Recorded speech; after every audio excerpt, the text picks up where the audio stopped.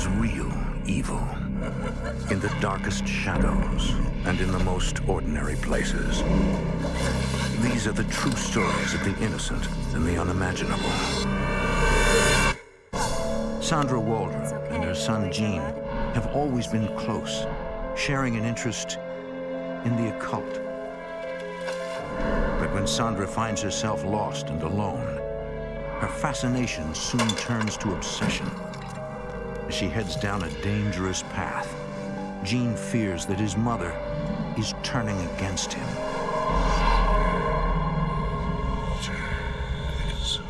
Between the world we see and the things we fear, there are doors. When they are opened, nightmares become reality.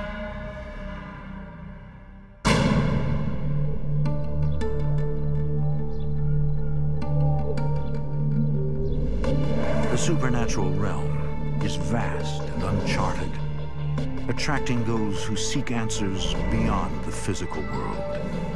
But its mysteries are infinite and its power unpredictable. When toyed with, its consequences can be deadly.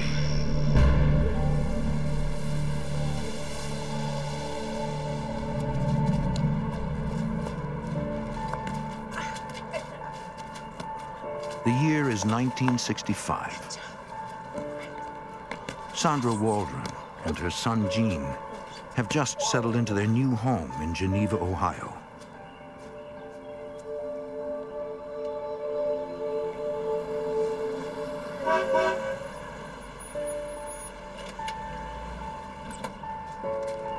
Her husband Stephen works at a nearby engineering company. Hey. How was your day? It was fine. How about you? Everything okay here? Oh, yeah. we Stephen is the only father that Gene has ever known. Great. What's for dinner? I never really knew my real father. Stephen had been my stepfather since I was two, three years old. Hey, uh, do me a favor and take Gene inside and get him washed up for dinner. Honey, I've been working all day. I just want to get out of these clothes and relax. Hey, remember what I said before we got married? Parenting is a 24 hour job, and now you're a parent. My husband never mentioned that it bothered him that Gene wasn't his child, but I do think it did bother him some. I think he resented it a little bit. Come on, Gene, buddy. Let's go inside. Sandra hopes that one day Stephen will be able to accept Gene as his own.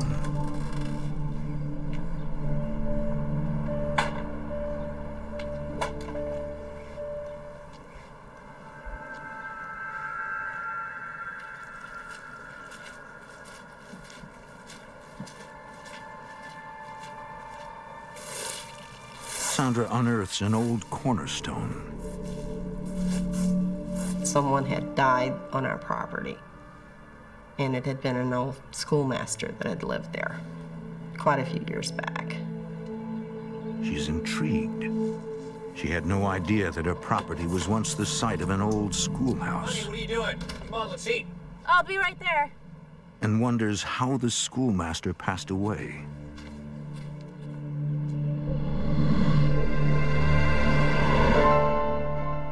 Stephen, did you know there used to be a school here? What's that? There's a cornerstone out by the side of the house.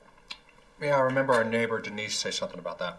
Sandra has always believed in the existence of spirits and their interaction with the living world. But how'd she say he died?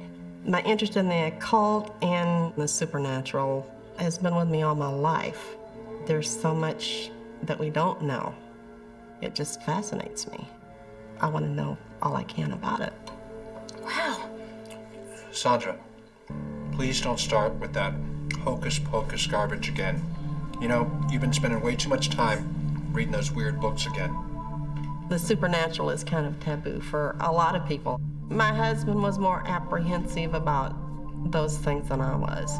Perhaps if you spent more time taking care of the house, that'd be a good idea. Stephen, I keep the house just fine and I happen to think that my books are fascinating. Where are you going? What about dinner? Oh, I'm done with dinner. Honey, I'm just joking.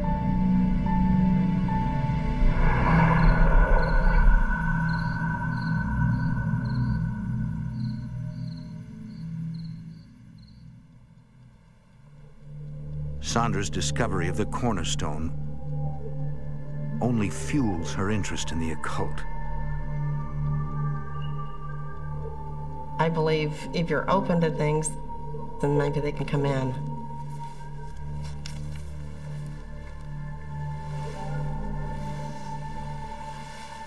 Hey, it's getting late. Why don't you put that book down and get to sleep? And I bet you won't leave me alone until I do, right? You got it.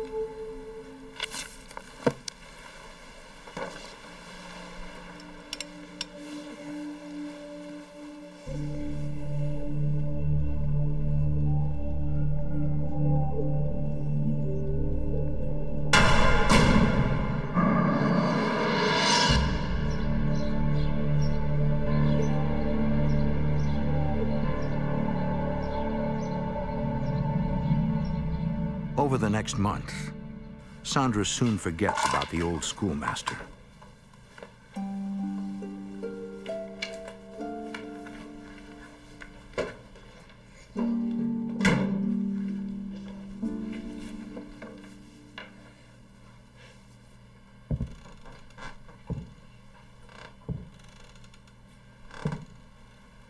And I heard these heavy boots walk across the floor. Let's go upstairs, okay? She assumes that it's Stephen, home early from work.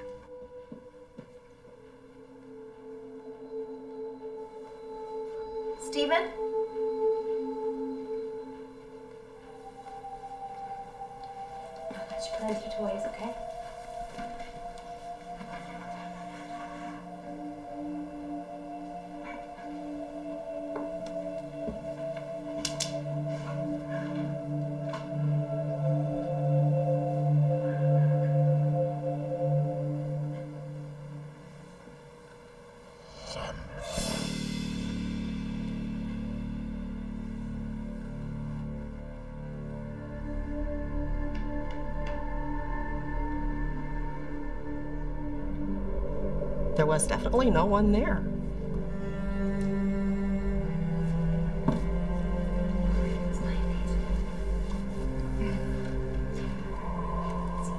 It maybe alarmed me a little bit, but I wasn't really scared. It just really piqued my curiosity. Because of her interest in the occult, Sandra wonders if she could have invited a presence into her home. I decided that, well, maybe it was the schoolmaster that was haunting our house. I wasn't doing anything intentionally, but I could have possibly opened a door.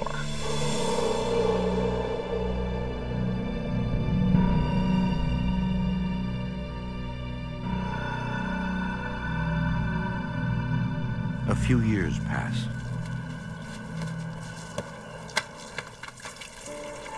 Gene is now 11 years old. I'm sorry. That's okay. Boys are allowed to be boys.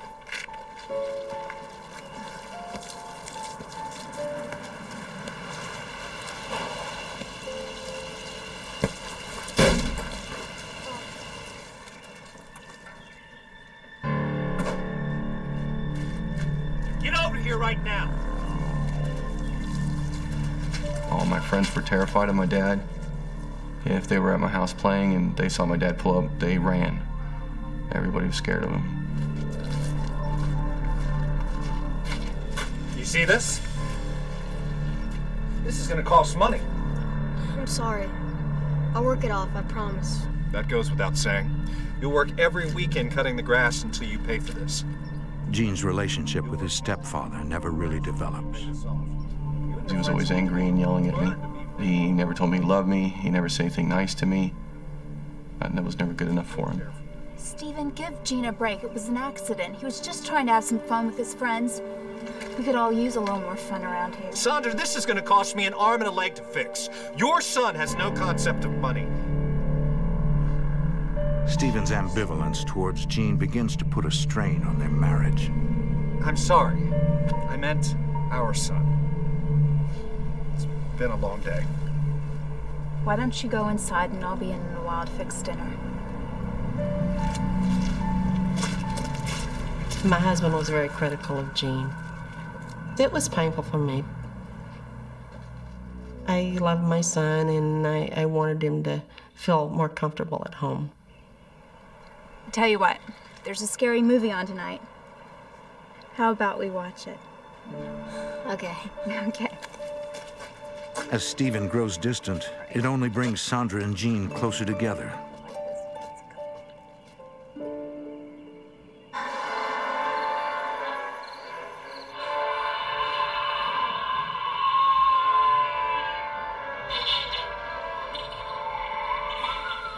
My favorite thing to do was to watch scary movies. When we were watching movies together, uh, we'd turn the lights down, you know, get some popcorn, and just make an evening of it. It was just a lot of fun. Um, being scared.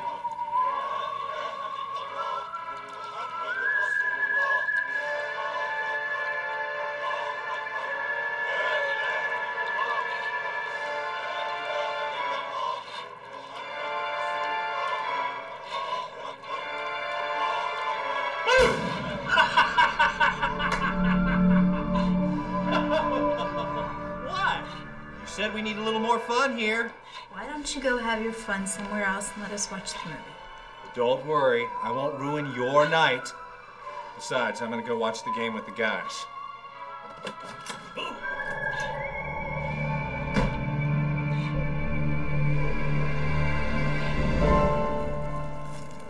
So, how are things with you and Stephen lately? The next day, Sandra and Gene go over to their neighbor Denise's house. Hey, Gene. You go home and get that can of beans out of the cupboard. Okay, Mom. Okay, and hurry up, because we're gonna eat soon.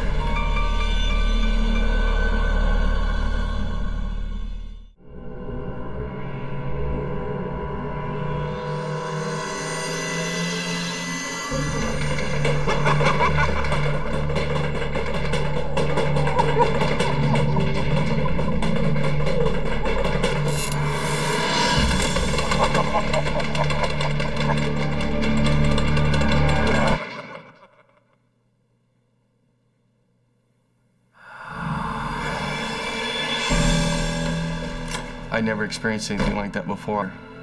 I just felt that, that there was something evil in the house.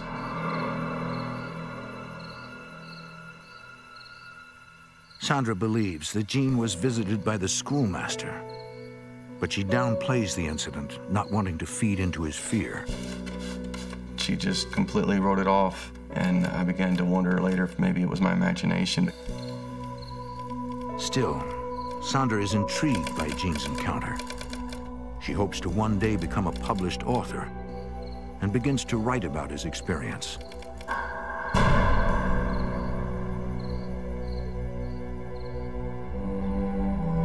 After a few weeks, Gene soon forgets about his unexplainable encounter.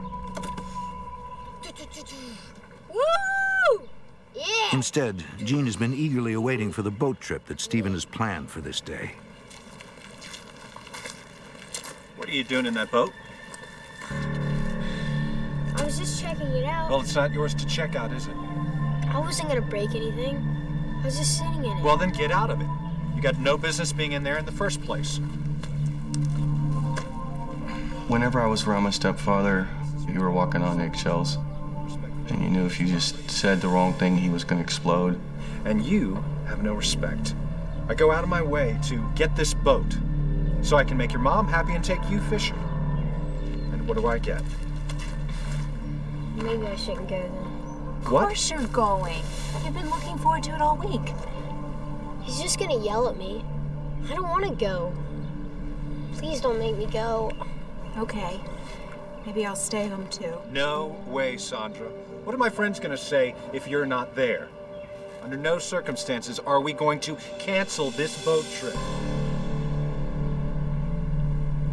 Just go ahead, Mom. I am not leaving you home alone. Sandra, quit babying the kid. He's old enough to stay home alone. I am not babying him. I'm his mother and I worry about him. I'll just go to Mark and Jimmy's house until you get back. Are you sure? Well then, we'll be back at seven. Okay. All right, be a good boy. We'll see you later this evening.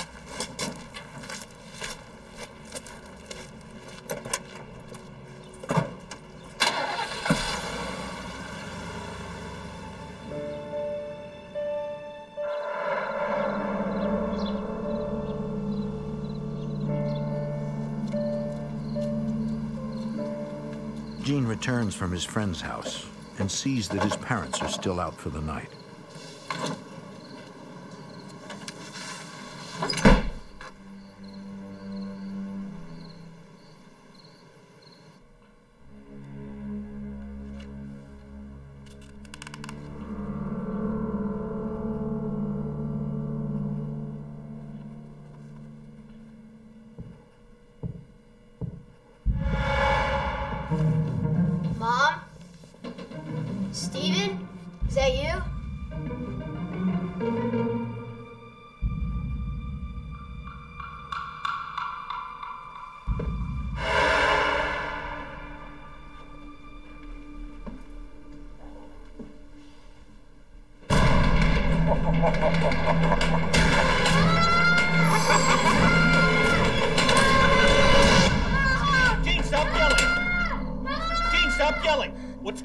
Tell me what happened.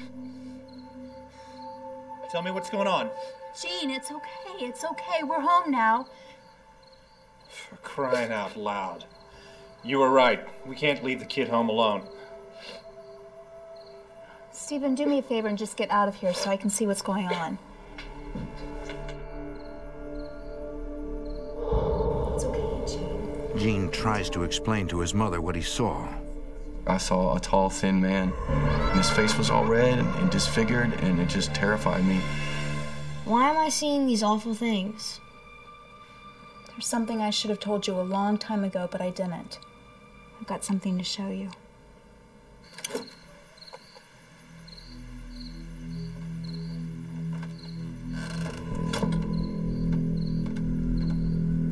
I think the person you saw was a man who had lived here a long time ago. Sandra tells him about the schoolmaster who died on their property. He knew something was going on. I felt really bad for Gene. I did, and uh, I didn't want to see him that frightened. This man, he died right here? In our front yard? I think so. At least She goes on to say that she has had many encounters with his spirit and has never felt I've known about threatened by his since we were a presence. baby and nothing has ever happened. Sandra figures that Gene is just overreacting because of his age. Think of it like one of those scary movies that we like to watch. And they're really scary, but in the end, it's just a movie. Gene eventually accepts his mother's explanation. She made me feel so much better and not be so afraid because I knew that my mother was there for me and wouldn't let anything happen to me.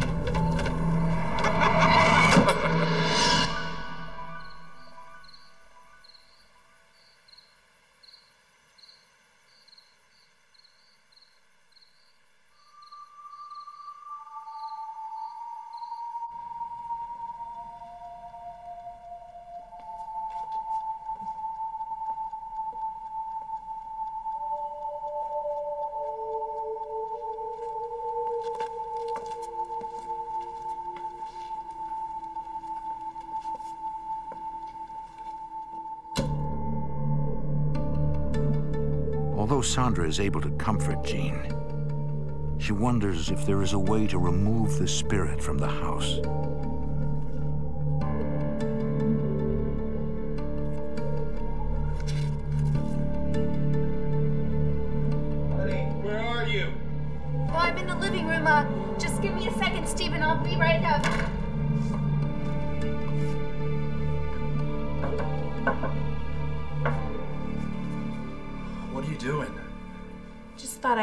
Before I went up to bed. Be up in a minute.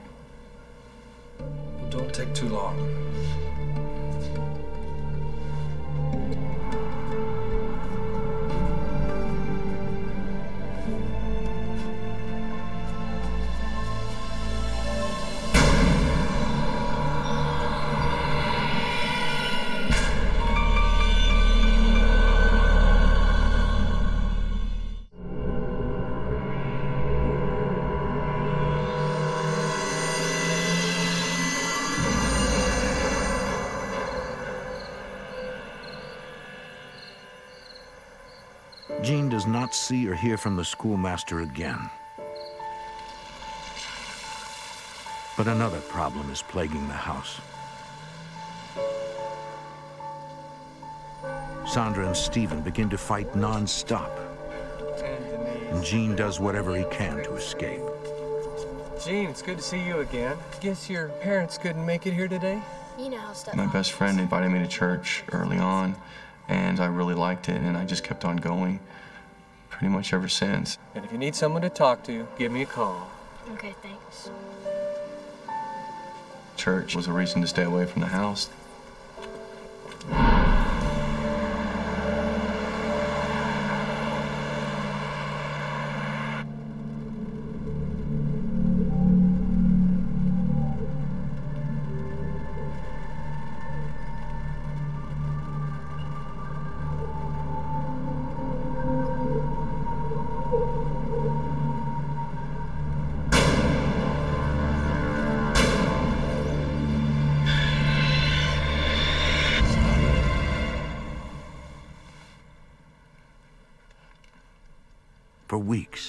Sandra has the same dream over and over again. The dreams were usually much more vivid to me than regular dreams. And she wonders what these recurring images could possibly mean.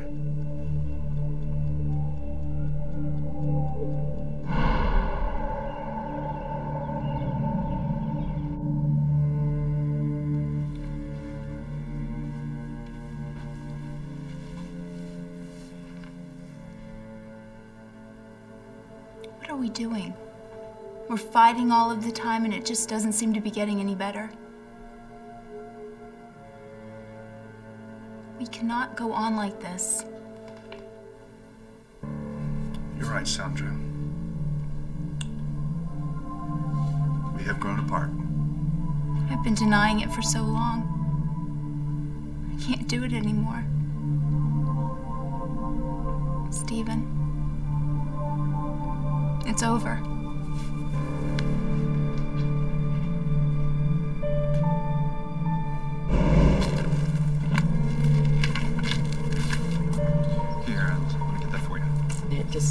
Finally got to the point where I had to leave.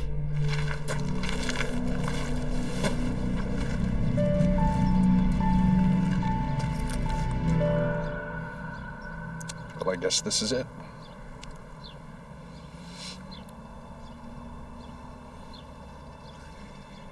Take good care of your mother, okay?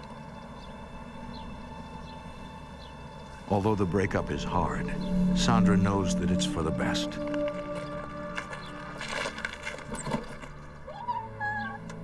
Felt it was a good thing.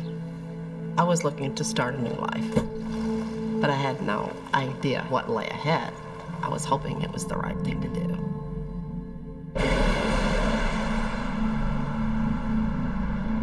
Sandra decides to move back to Texas City, her hometown.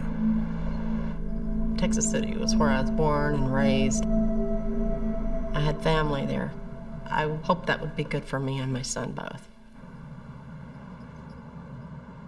Sandra hasn't left Geneva in years, but suddenly, the drive becomes oddly familiar.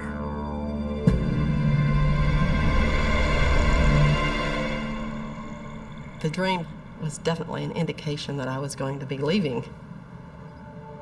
She now realizes that her dreams are visions of the future. I thought it was so obviously prophetic.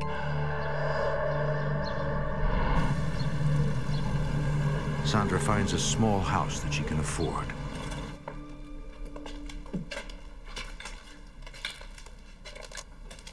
What is this filthy thing doing in here? What's this?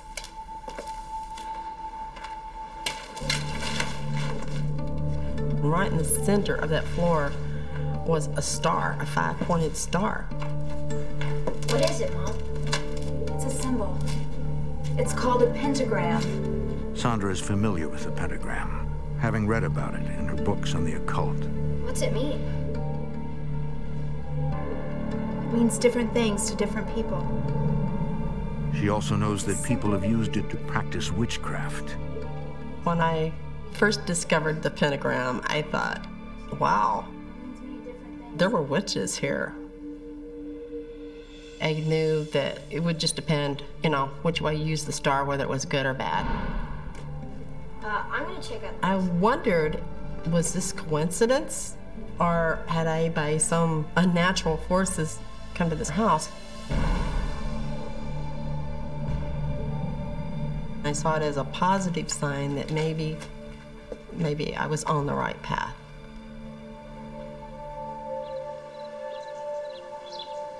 Over the next few years, Sandra struggles with the pressures of being a single mother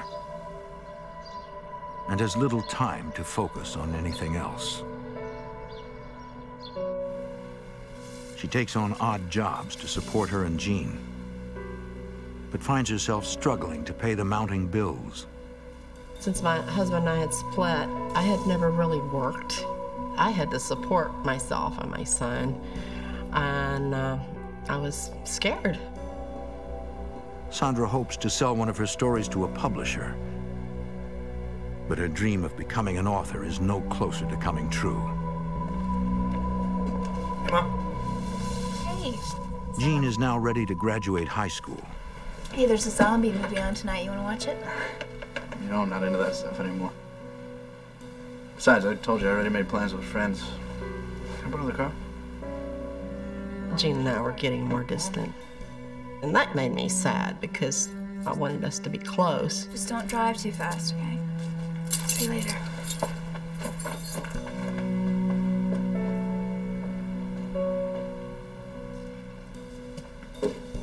With Gene no longer around, Sandra finds solace in her books on the occult, which have always given her comfort. She is immediately drawn to Wicca, an earth-based religion that worships both a male and female deity. It was positive on the female side. Women were equal with men. I think that's one of the things that attracted me. She is also intrigued by the Wiccan belief that one can create change using the energy that surrounds them.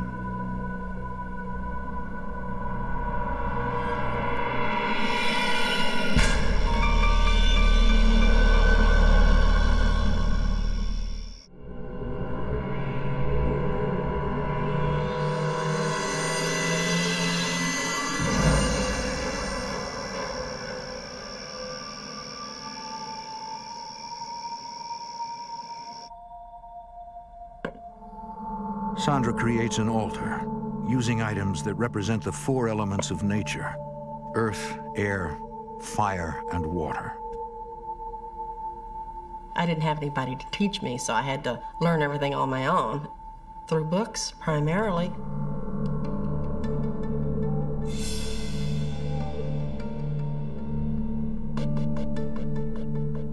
I was hoping with Wicca that maybe I could change things.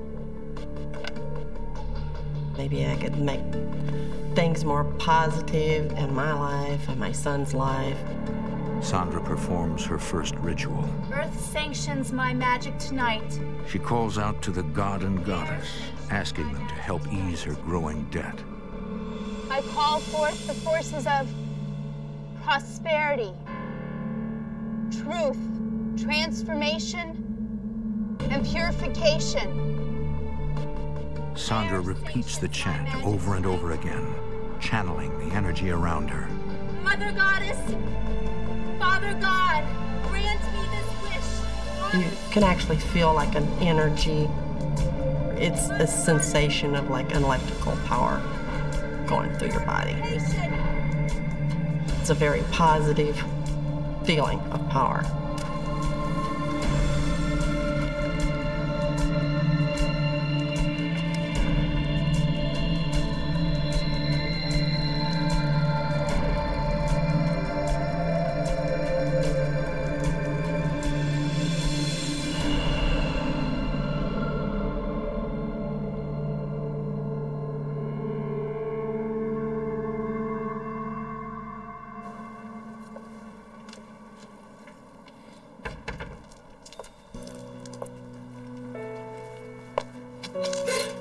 Later,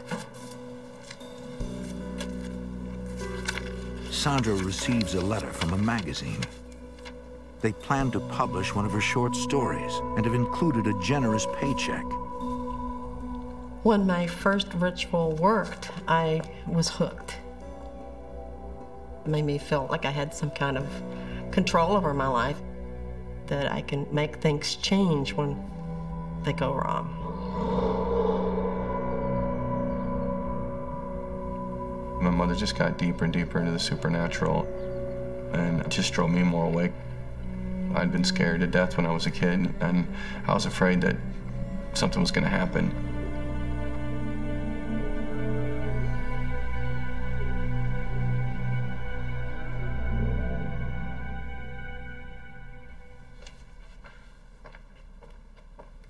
Morning, Mom.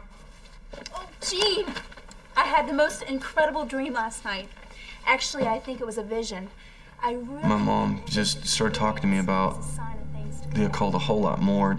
I really think that this experience is a sign of things to come.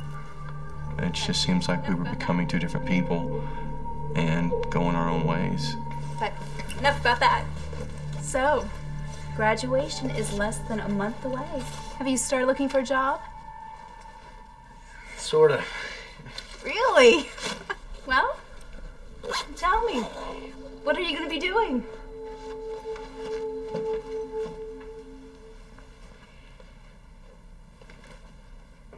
I signed up with the Air Force. I'm leaving just a couple days after graduation. Can't believe it. Wow. Wow. I'm proud of you, Gene. Thanks, Mom. The relationship between my mother and I had gotten so strained that I decided my best chance was to join the military, get away, clear my head, figure out the answers to life's questions myself without my mother's influence.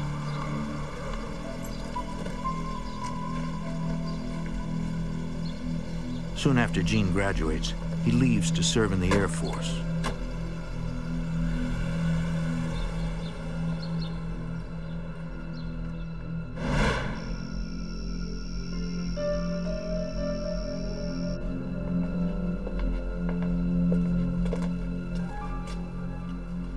Gene was in the military, I really got into Wicca and started really practicing it and uh, doing rituals.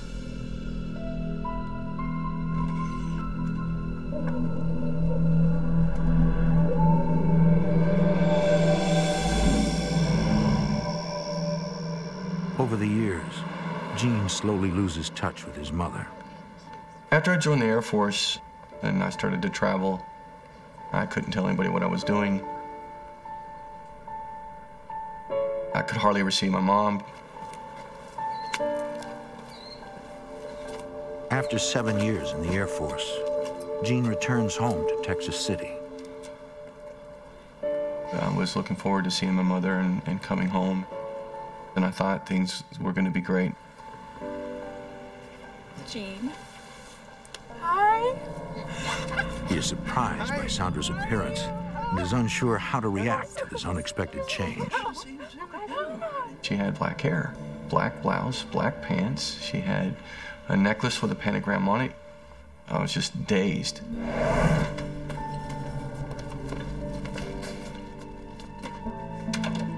I'm so glad you're finally home. Looks like you remodeled while I was away. Well, let's get you set up in your old room.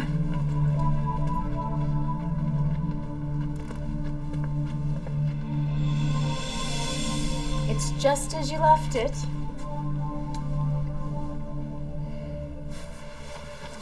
I, uh, remember this being here.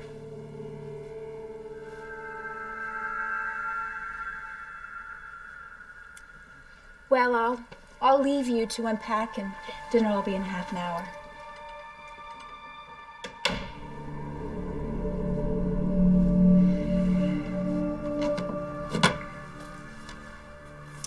It was just too much for me. The way my mom looked, the way the house was. Now I have a picture of the devil in my room. My last couple years in the military, I started to really go to church. And so by the time I got out, I was a very devout Christian.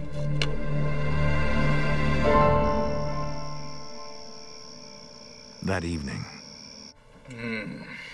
Sandra and Gene catch up over dinner.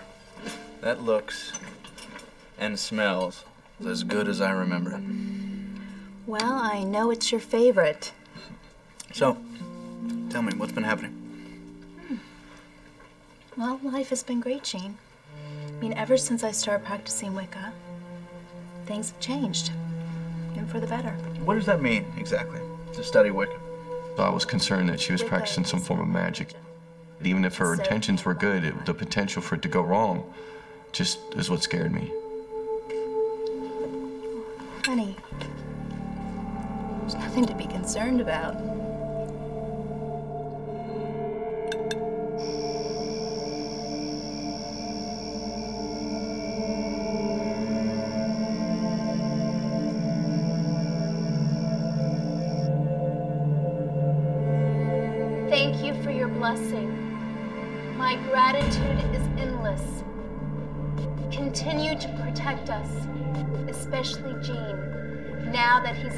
Your.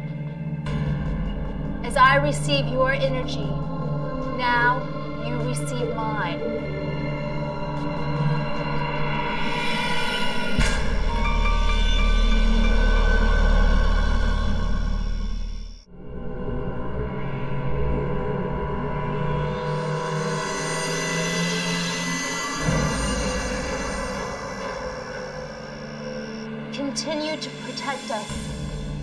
Especially Gene.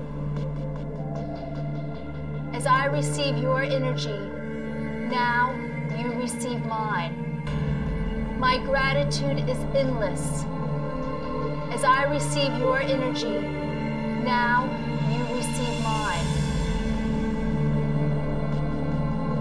Thank you, great goddess.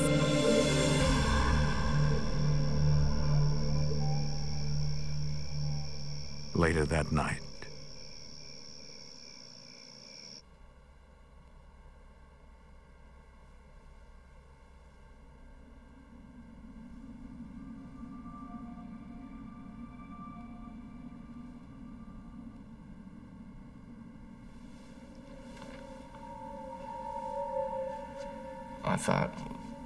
what, was it? And I thought maybe it was just headlights shining in the window.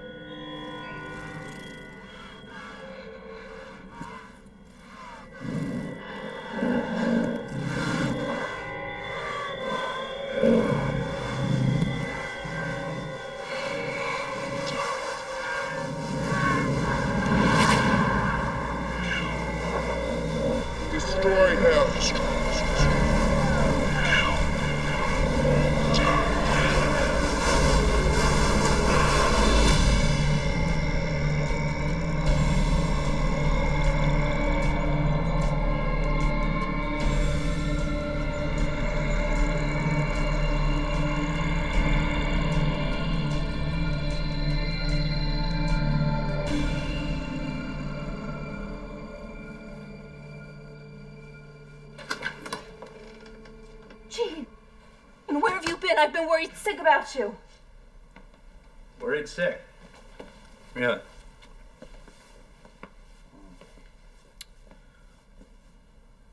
Did you get up in the middle of the night to check on me? Because last night I was attacked. I was attacked by a woman that looked just like you. Destroy him.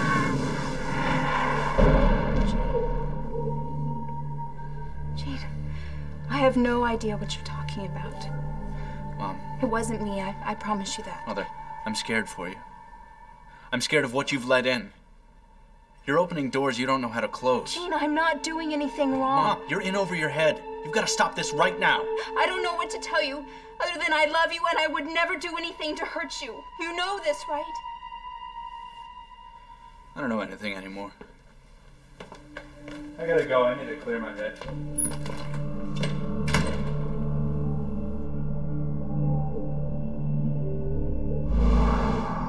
Gene scours the library, hoping to find something that could explain what he experienced. I had never seen lights like these before. I wanted to know what it was. He discovers a book on the occult that refers to these paranormal phenomena as sprites. These sprites, they were a product of witchcraft. I believe that her intentions were good, but that she had let something in the house that was evil.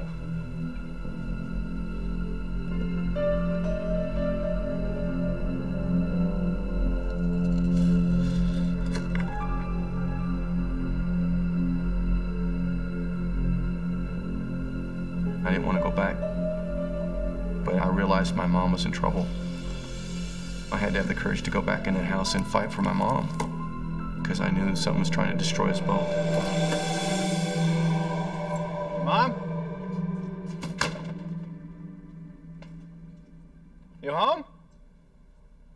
We need to talk.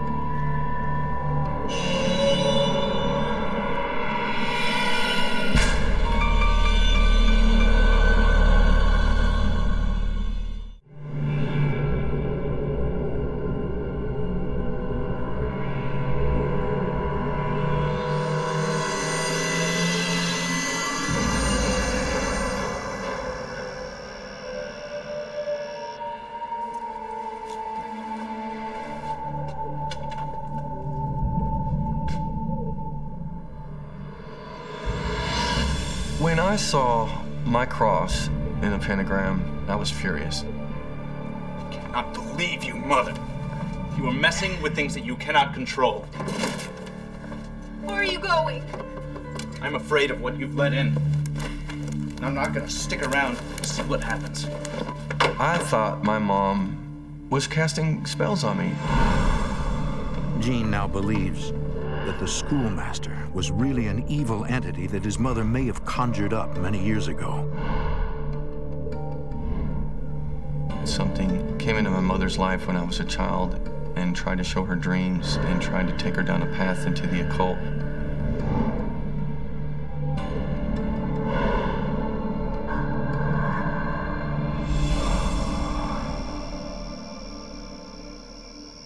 He cuts all ties with Sandra, realizing that there is nothing he can do to stop her. I felt that my mom was too far gone. The more I talked to her, the more I thought that she was lying to herself, lying to me. So I finally left.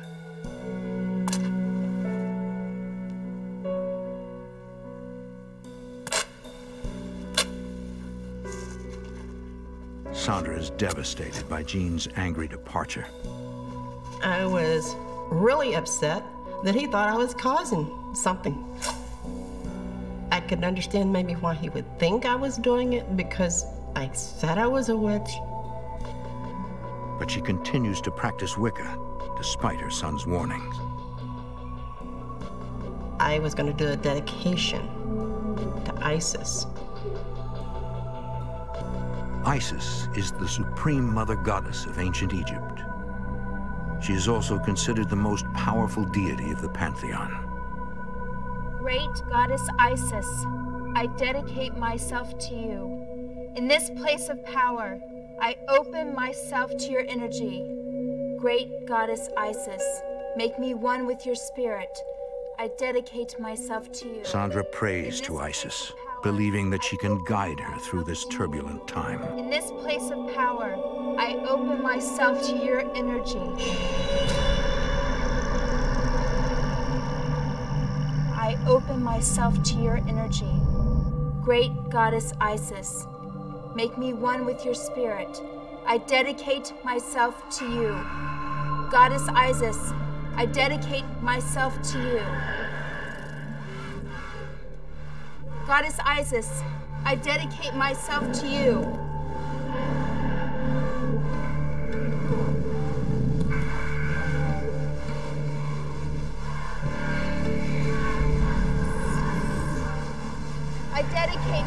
15.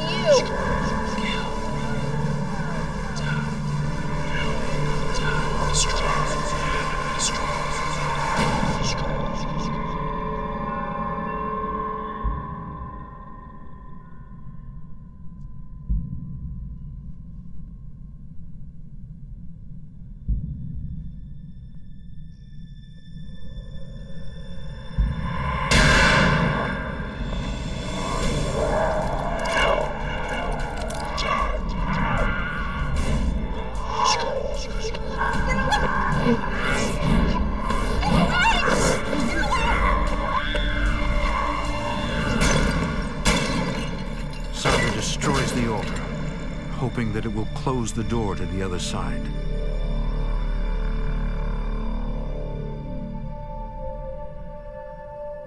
I think they were demons. This scared me so bad that I said, That's it. I want out. I don't know what I'm doing. It was definitely something I couldn't control. You're messing with something that is beyond our comprehension.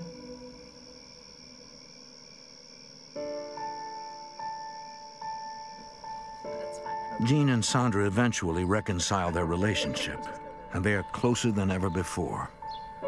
Now we talk almost every day, and we're trying to make up for lost time. So, and everything else is going well? Yes, it is. Gene is now a minister and counsels people who are victims of supernatural events. Sandra finally realizes her dream and becomes a published author. She never practices Wicca again. She believes that her inexperience with practicing magic allowed these demonic entities into their lives. It's possible that my interest in the occult all my life could have opened some doors. I could have been manipulated by demons or other spirits. I just don't know. I don't know the answers.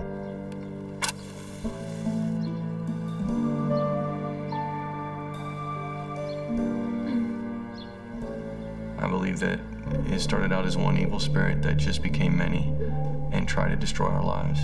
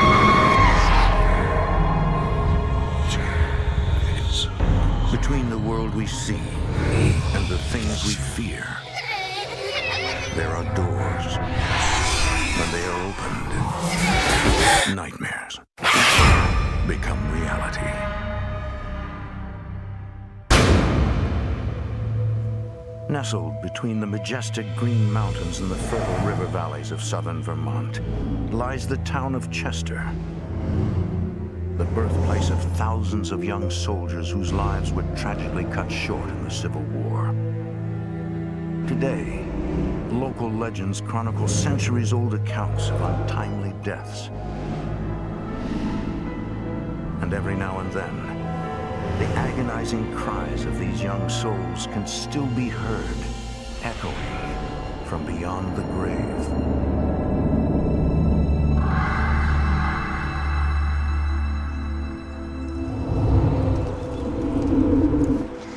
The year is 2005. Look at that place. That is a butte. Are you serious? Libby and Sean Johnson, along with their two daughters, seven-year-old Grace and five-year-old Willa, search for the perfect home. Now, this place is a classic. Having moved from Fort Lauderdale, Florida nearly a year ago, they believe that Chester, Vermont is a town of promise. We could restore it.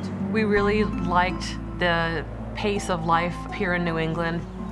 And we thought living in a small rural town would be a nice place to raise our children. What do you think? Well, he needs a little imagination. I mean, this place could be great. The Johnsons have been living in a small two-bedroom apartment for over a year while looking for a place of their own.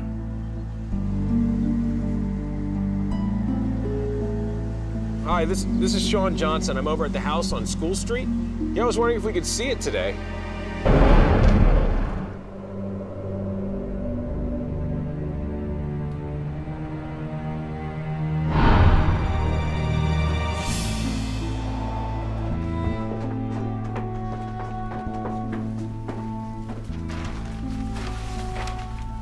House needed probably $200,000 worth of general construction to get it to be livable.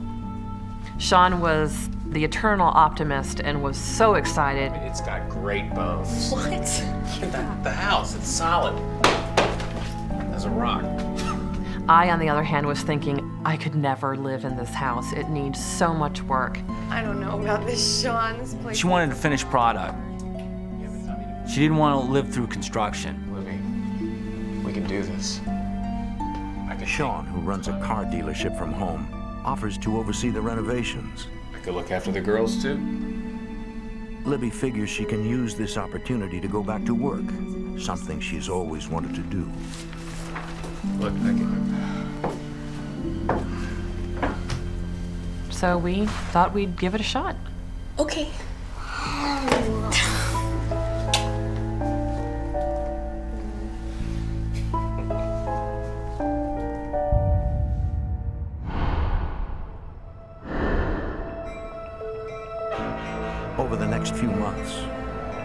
continues to assist with the construction and manage his business from the apartment. While Libby takes a job as a secretary at the local elementary school.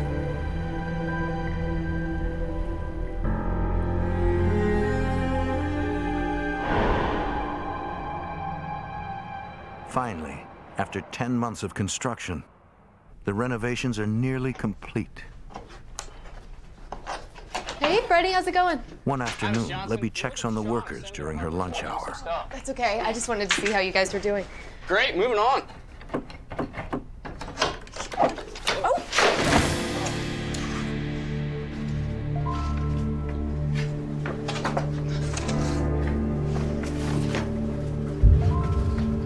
This is incredible. She discovers dozens of old family photographs, letters and documents dating back to the Civil War.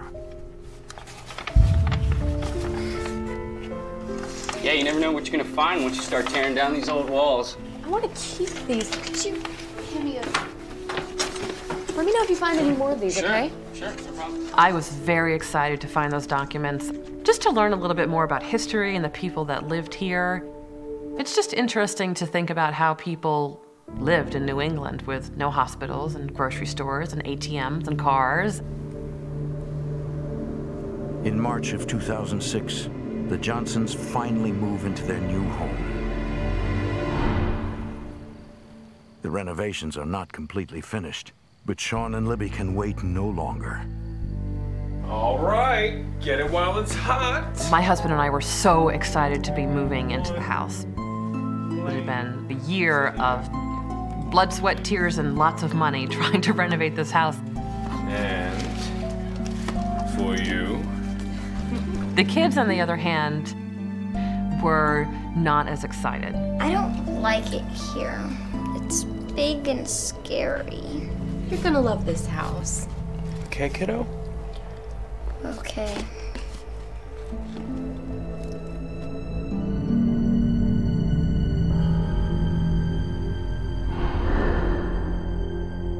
After an exhausting move, the family settles in for the night.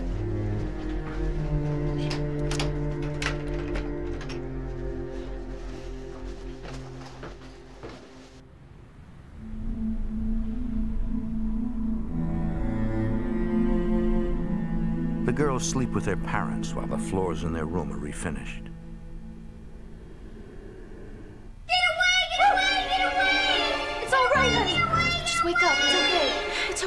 Wake up. It's just a dream. Grace, wake up. It's okay. It's all right. There was someone coming after me. She saw a person come into the room with strange looking eyes and was coming toward her. Oh, it was just a dream, Gracie. Hey, you want to sleep in our bed tonight? Come on. I just thought it was, you know, her nerves from being in a new place. She just was scared.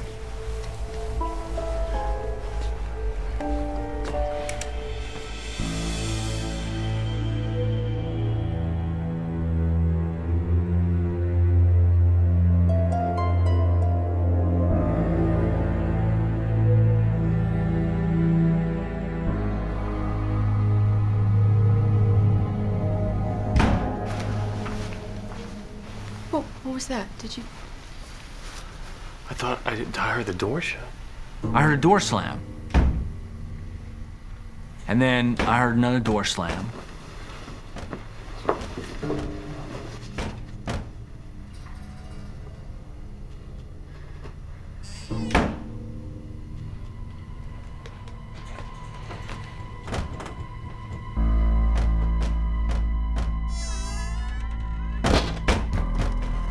My ears are hearing the door slam, but I'm not seeing any door slamming, and I can't figure it out.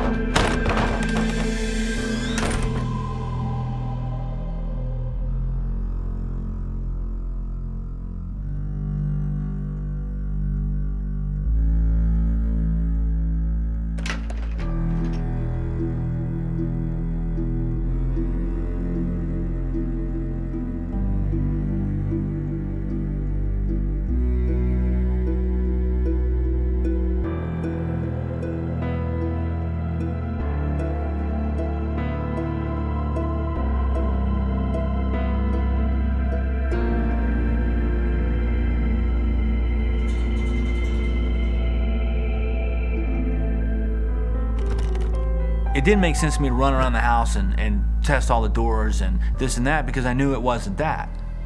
But you don't know what to do.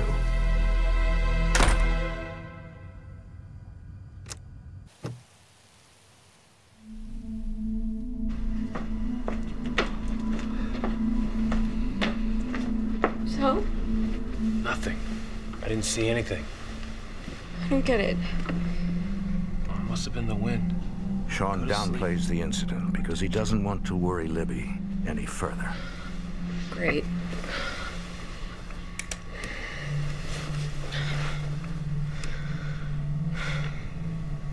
Don't you think it's weird the girls never woke up?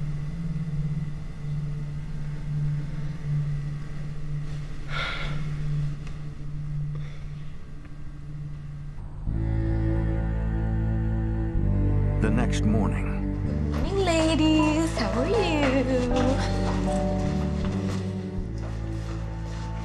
I'm telling you, Sean, it's not normal. Well, I didn't say normal. I'm saying that there must be a logical explanation. How can there be a logical explanation for something that's completely not logical? So what are you saying? We have ghosts. I have never been a believer in the supernatural ghosts, anything like that. Whether we have a haunted house? I'm very scientific. I don't have faith in a lot of things that I can't feel and touch. What if it is haunted? We can get our money back. Yeah, right. All right, girls, let's go. Mommy's gotta go to work. I love you. Come on. Have a nice day. Let's go. All right, y'all. Have fun. The following week, the girls' room is finally complete. Okay. Who wants a story? Oh, I do. Me, I want to do a puzzle. I hate puzzles. Oh. Listen, Willow, we'll read a story tonight, okay? And then tomorrow night you can do a puzzle with Daddy, okay? Okay. This is called The Lonely Fairy. Once upon a time, a long, long time ago, there was a lonely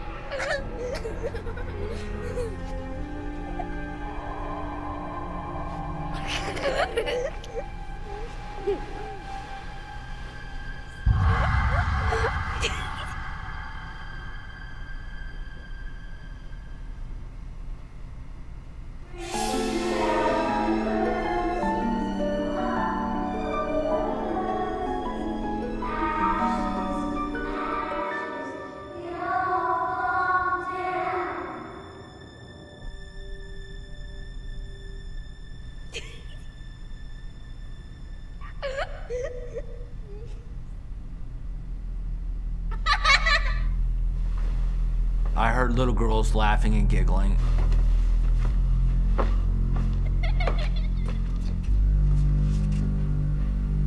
And as soon as I opened up our bedroom door, the voices stopped.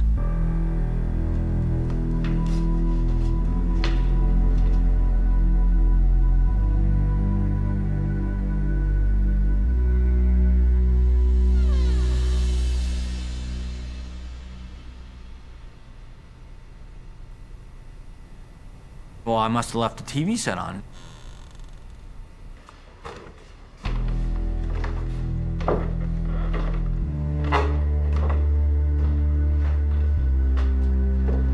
And then everything was quiet.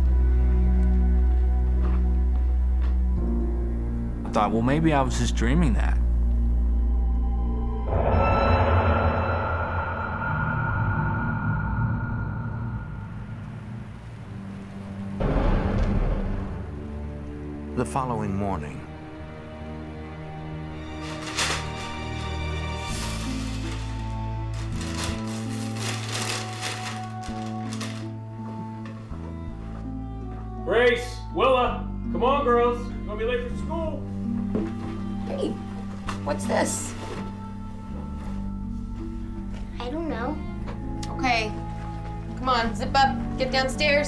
Daddy's got breakfast waiting, okay? Okay. Go on. Love you. Scoot, love you too. Hey! Sleepyhead? Rise and shine. Hey. Hey. Hey, what's this puzzle doing over here? I thought you hated puzzles. The fairies wanted to do it. What? There were two fairies here. Played all night. Well, that sounds like a wonderful dream.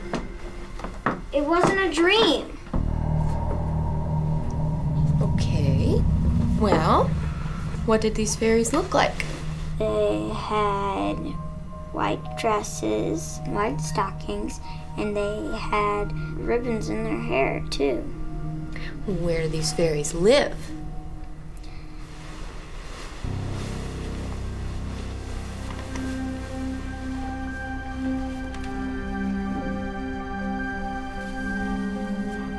They live under a tree in their yard.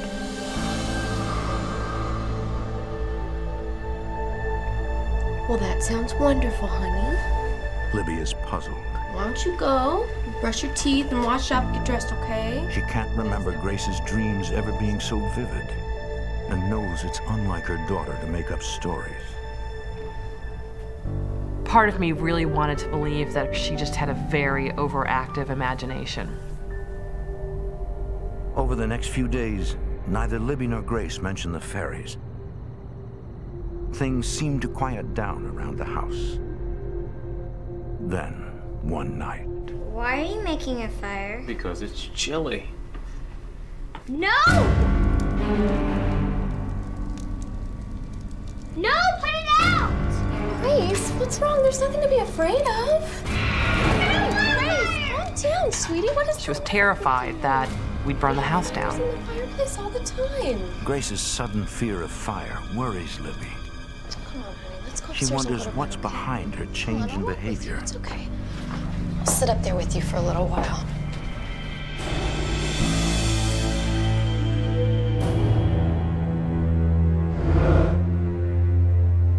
In the days that follow, Libby manages to forget about these strange incidents and settles into a normal routine.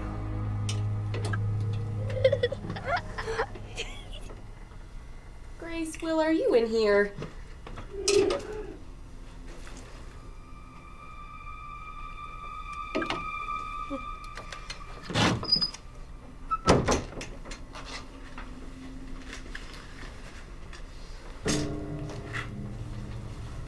I could hear young children giggling.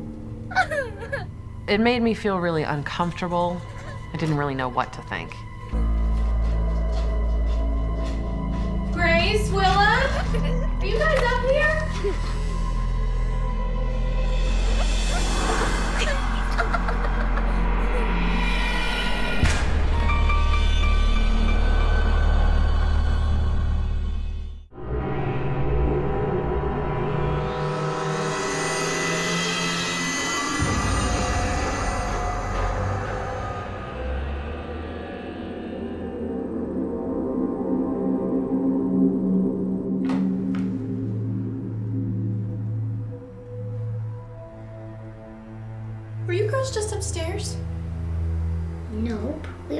Here. Grace, what is this? What is this a picture of? It's our house, and that's the fire. Grace had drawn our house on fire. This was very alarming to me. Grace, honey. Why would you draw a picture like this? I'm afraid you and Daddy are gonna die in a fire. No, honey. Mommy and Daddy aren't gonna die in a fire. The fairies' mommy and daddy died in a fire. Grace, honey, that was just a dream. The fairies aren't real. But it wasn't a dream, they're real! It was interesting to me that she was so adamant that it wasn't a dream. I'm beginning to wonder maybe if there's something coming into play that isn't But we're not natural. We've had too many things happen in the house to just write them off as random events.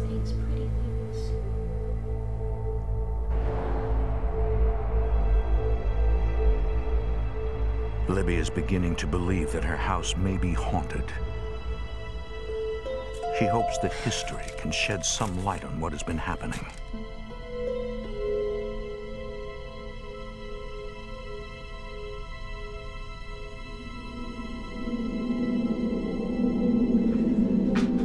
Hey, what are you doing up here? What's that?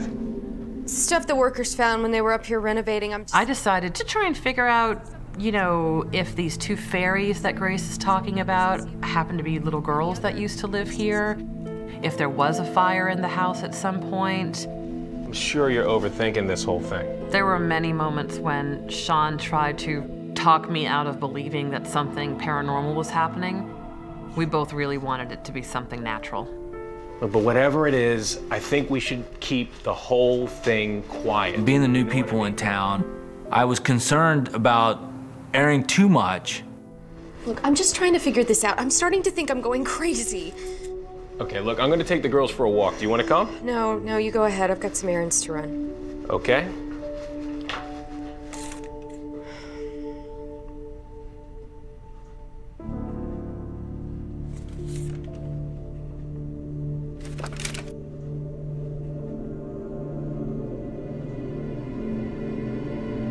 Takes the old photographs and documents to the Chester Historical Society. Now, it says here that that old house was used as a barracks during the Civil War. I was actually wondering if there was any record of any fire. Oh. Unfortunately, Libby doesn't receive the answer she's looking for. The director finds no evidence of a fire on her property. I've seen any evidence of a fire. Uh, yes, What about these photographs? Do any of these people look familiar I to you? I don't know. Let me take a look. Yeah. Oh, look at that. Ah, There seems to be something stuck here. Now, well, let's see. Oh, that, He tells Libby that this is an early 20th century photograph of Chester's Civil War looks like veterans. a picture of the 50th anniversary of the uh, Gettysburg Battle. Who are the girls? Well, I don't know, but they certainly don't seem to belong there. It's strange because these girls match to a T a description of the fairies that Grace kept talking about that would go into her bedroom.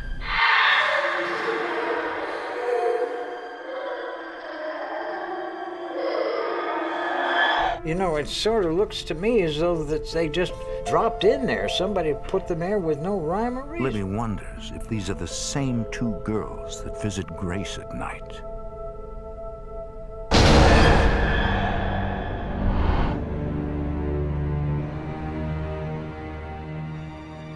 Libby remains calm with her family. You give me a kiss goodnight? Yes, come here. Mwah. Go on.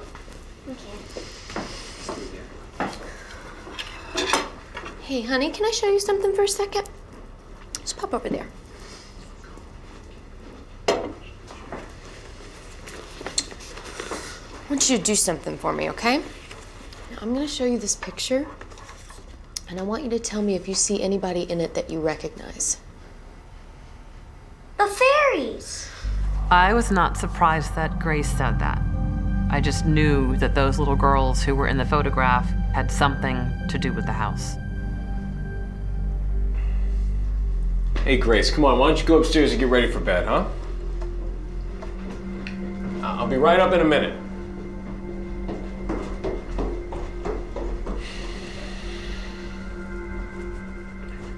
There is an explanation. She's just a child. Well, you heard the girls giggling in the middle of the night. That was a dream. Sean cannot come to terms with the fact that the house could be haunted. I couldn't explain it. So therefore, I was a little conflicted on what it could be. All these things were happening that were pointing to something other than normal. She's been playing Ring Around the Rosie with two little fairies who happen to look exactly like the little girls in this picture. And I never taught her that song. Maybe she picked it up at school. No, I talked to her teacher. She said they never sing it there. I mean, did you know that that song is about the plague? It's a song about death, Sean. She is obsessed with death. Ashes to ashes, we all fall down. What do you want to do? Move? We've put more money into the house than it even cost to, to buy. I'm sorry. So it, it just wasn't an option to sell the house. I just don't know what to do. Grace wasn't afraid. It wasn't so scary at that point that I felt that we were in danger.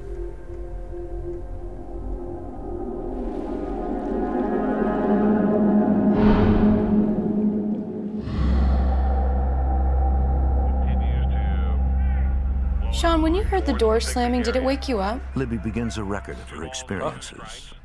When you heard the door slamming, were you awake or did it wake you up? I, I don't know. Sean, I, I was asleep. It woke me up.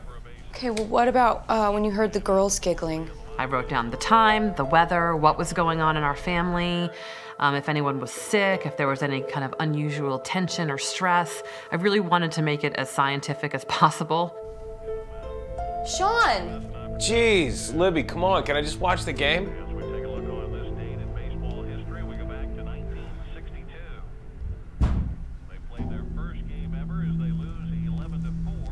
Did you leave the window open upstairs? No, I did not.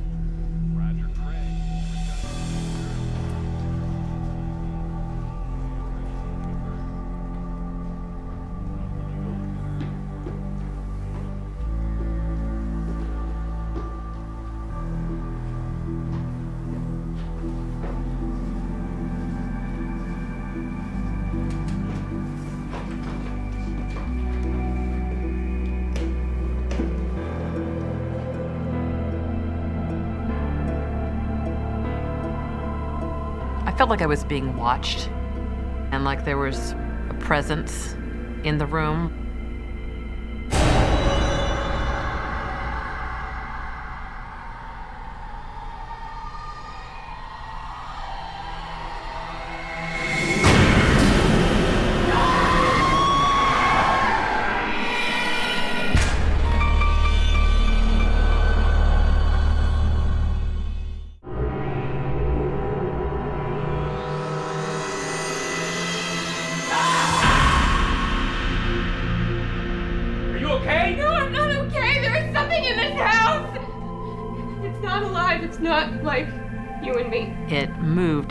Fast as I've ever seen anything move.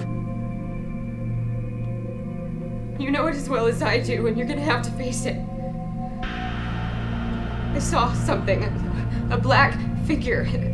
I, I was at the window, and and I felt something behind me, and and I turned around, and and I saw this black thing standing in front of me. It darted under the bed, but it was right there. I saw it. It's real.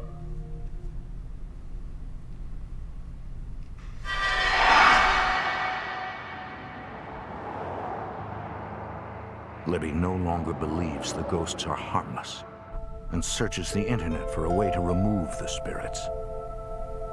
When I just thought, you know, why is this happening? Should we really believe in this? She learns she can remove the spirits by smudging the house with sage.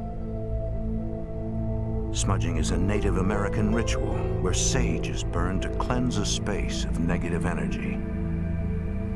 It sounded a little far out, but at this point I was feeling really like, well, what can it hurt?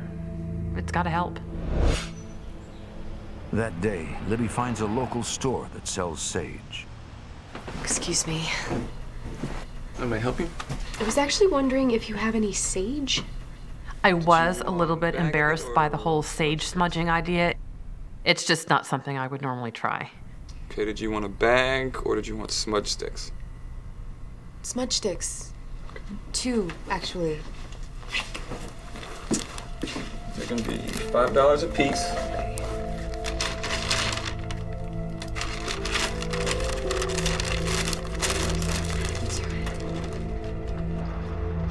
That afternoon, Sean keeps the girls occupied so Libby can All right, perform hold the smudging. Don't stay on the sidewalk, all right? Don't get too far ahead of me. You sure you want me to stay with you? No, I'll be all right. You go ahead, okay? All right. All right. Hey.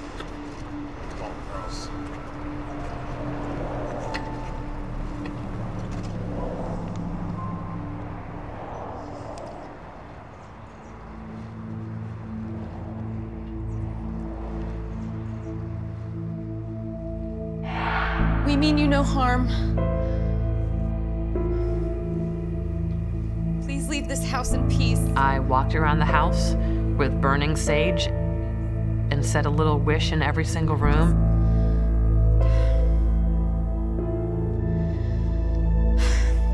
Please leave this house in peace.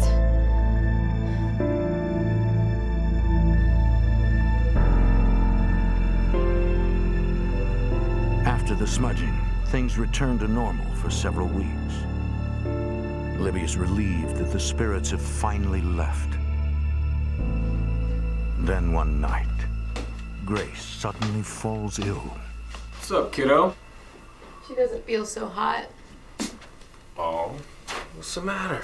She has an upset stomach. Oh. Do you want to sleep with mommy tonight, sweetheart? I decided to have her sleep in my bedroom with me. Me too. I'm gonna sleep in your bed too. All right, all right. I guess I'm sleeping in Grace's bed tonight. Good night. I want to sit next to mom. No, I want to sit next to mom. Okay, I'll get in the middle. Both Good night, Dad. Good night. Good night, Willa. Good night, Grace.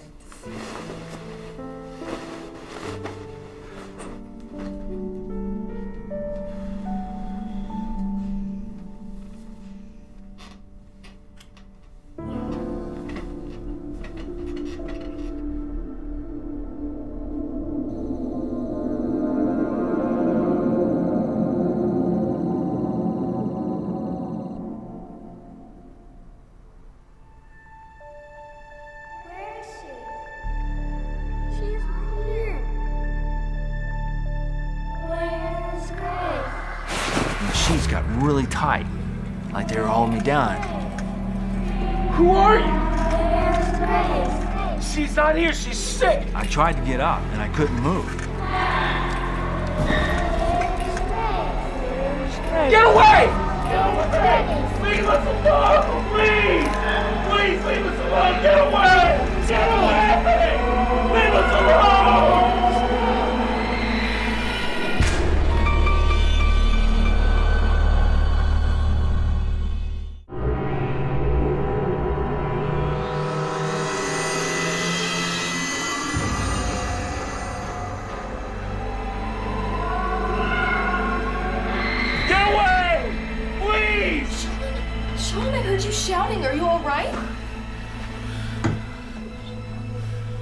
Something in this house.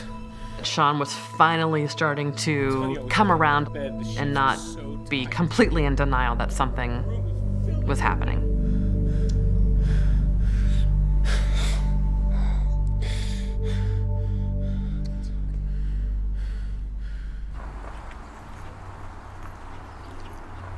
The next day,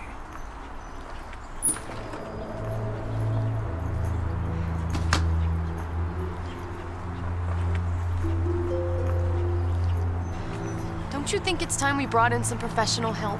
Like paranormal investigators? I don't know.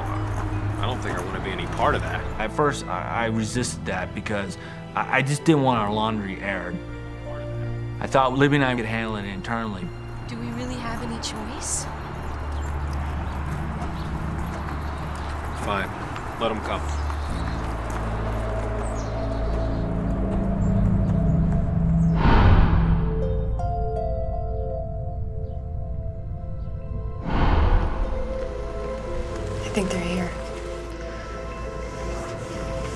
Libby contacts ISIS Investigations, a team that specializes in helping people who are experiencing paranormal activity. I hope we're doing the right thing. What you looking at? Okay. Hey, who wants to get some ice cream? I okay, come on. Leave that. You're doing good. We'll come back to it. As a safety precaution, Sean takes the girls out of the house during the investigation.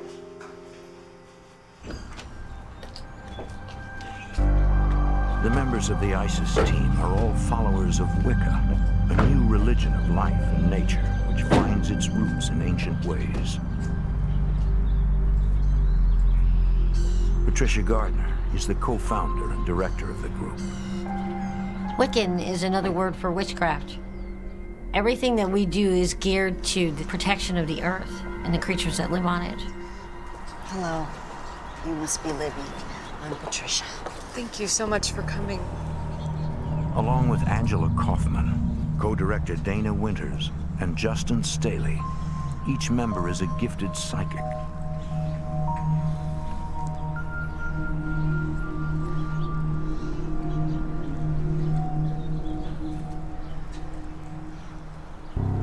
What are they doing? It looks like they've sensed something. It was a little startling to me that the first thing they did was to head over to this tree that I had never even mentioned before.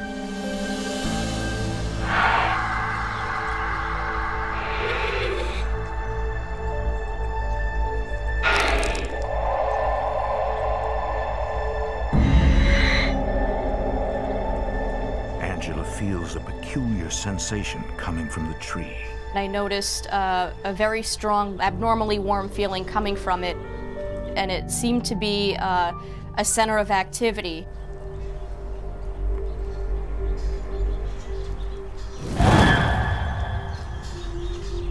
This is very sad. Something terrible happened here. Yes. I can feel it. The energies around the tree were very chaotic. We all felt that there was something very strange under or around the tree. Let's go inside. I'll explain everything.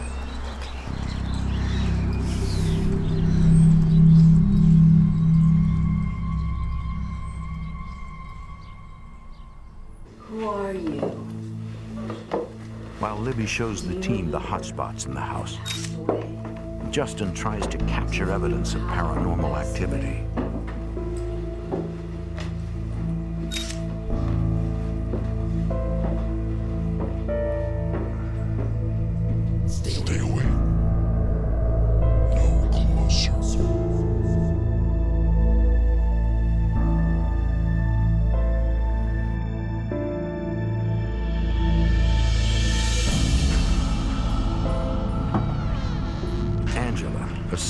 Sketch artist, uses art to recreate images in her mind's eye.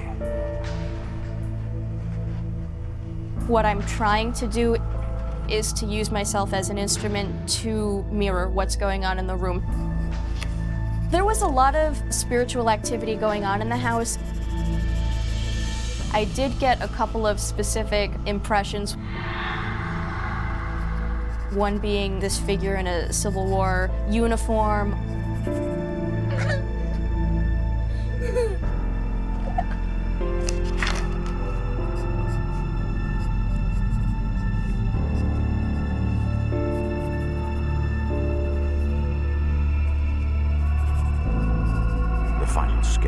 Is uncanny. It's the perfect illustration of the two girls from the photograph found in the attic. I got the sense that two little girls' spirits were kind of mischievous. They were just looking for someone to communicate with. Angela feels the impact of several spirits. The left part of my head starts to hurt. My first thought was that something is present in the room and it doesn't like us, and it's trying to make us feel uncomfortable. This is um, this is my daughter's room. Patricia and Dana immediately pick up on the presence of the two little girls.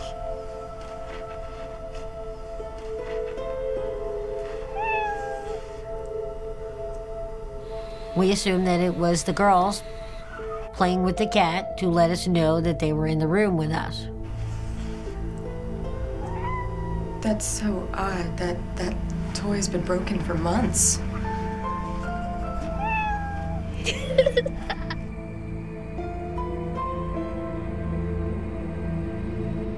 Libby hopes that Patricia can reveal why the spirits are haunting her house. These are interesting. Hmm.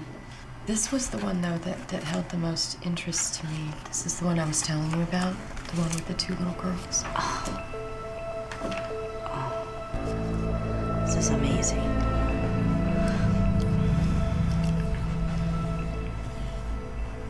Patricia runs her hands over the images on the photograph.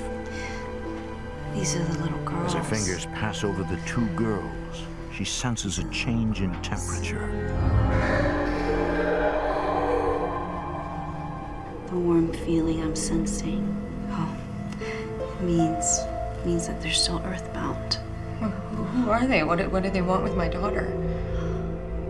Patricia believes the girls once lived in the house and don't know how to cross over. Some But the presence of a fire remains a mystery. Negative. It, oh, there are others. So many others.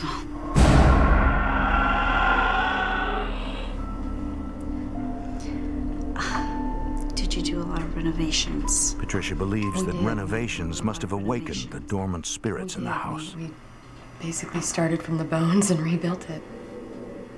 When you renovate things, even if something has been asleep for a hundred years, that's the best way I know of to wake it up.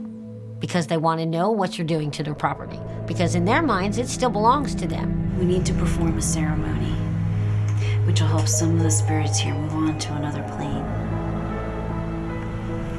Okay, um, what do we need to do? We'll perform what we call a magic circle and then a crossing ceremony.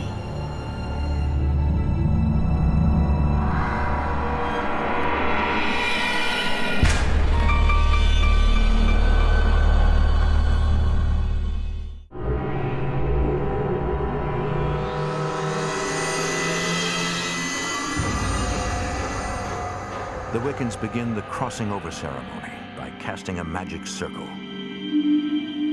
A magic circle is what witches use to protect themselves before rituals. It's a protective barrier between us and the rest of the universe.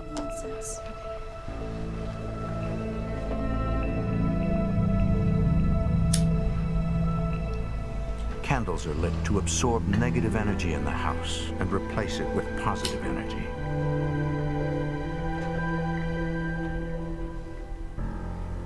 and incense is burned to prepare the mind and body before the ritual.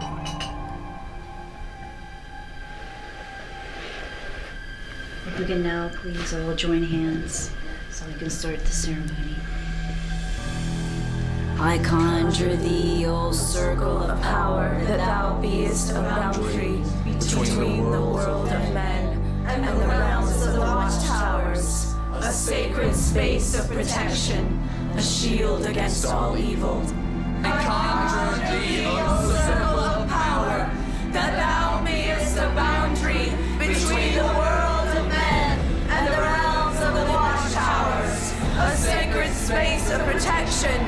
shield against all evil.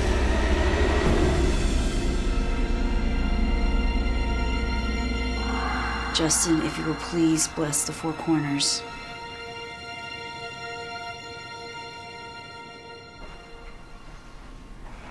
Ye gods of the watchtowers of the east, In Wicca, guardians, known as watchtowers, are called upon to protect the four directions of the circle. We call upon you to protect the sacred space. Ye gods of the watchtowers of the west, we call upon you to protect the sacred space. Ye lords of the watchtowers of the dead. During the ritual, incense is offered to the guardians in exchange for their protection. Now protected by the magic circle, they begin the crossing over ceremony. We open a doorway so that the spirits can cross over to where they are supposed to be. For some of them, you pick up on their sadness or their fear.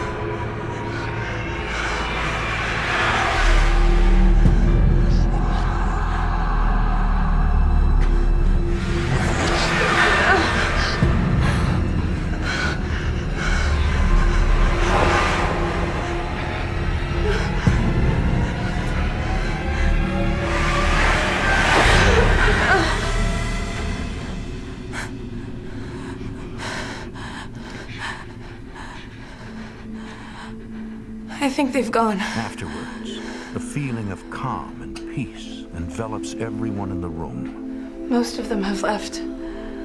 That's it. Patricia tells Libby she We're believes that most of the spirits have moved through the open door to the west, to a place called the Summerlands, a Wiccan version of the afterlife.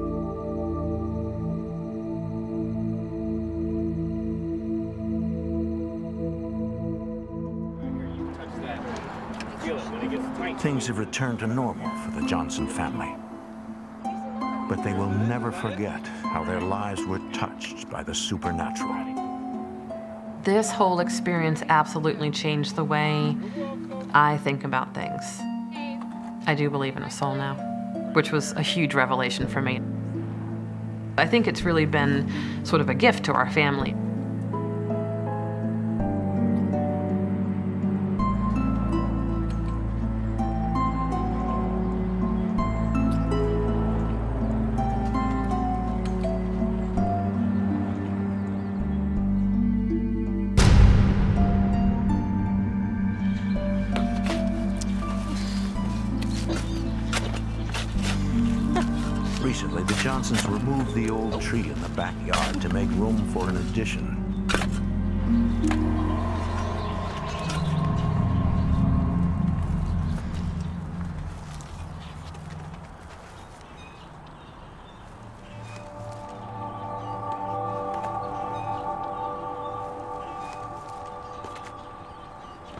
Libby, come here. You might want to take a look at this.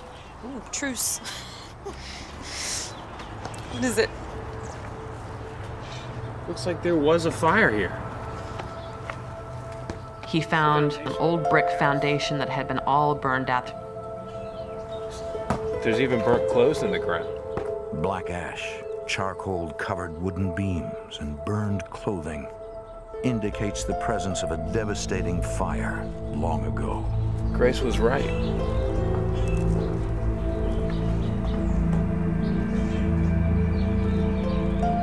There really was a fire.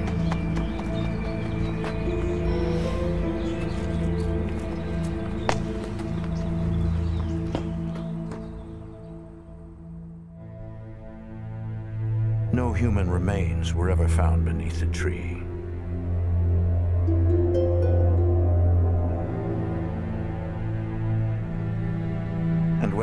Anyone actually died in the fire may remain a mystery forever.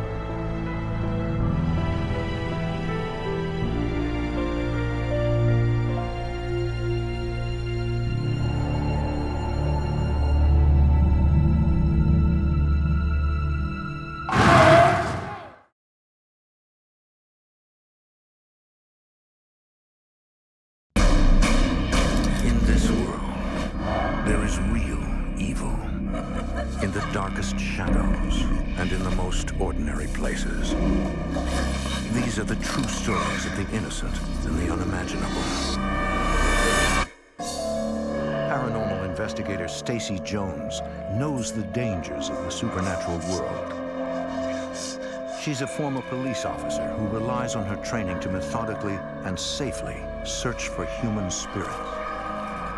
But an innocent mistake puts her only son at risk, and Stacy must battle the dark side to save his mortal soul.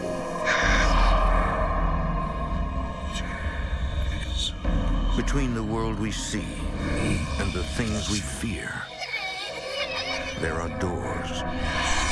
When they are opened, nightmares become reality.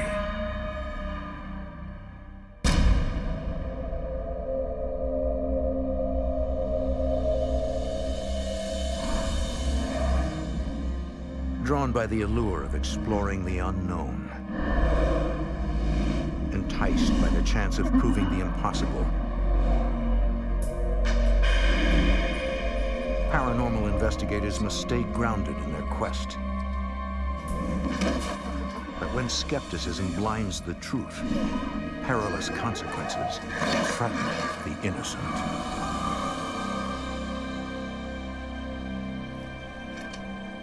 Research, documentation, evidence. These are the keys to a solid investigation and to finding the answers we seek. The Brown Lady of Raynham Hall, taken in 1937. It is the most famous alleged ghost photo of all time. Take a close look. Pretty provocative. Could it be a fraud? Stacy Jones Could be a founded Central New York Ghost Hunters in 1997.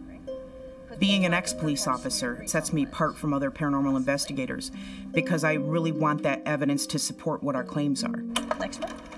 Okay, with energy photos such as this one, how do we Along with her team members, Stacy scientifically investigates human spirit hauntings. We're looking for evidence to support life after death.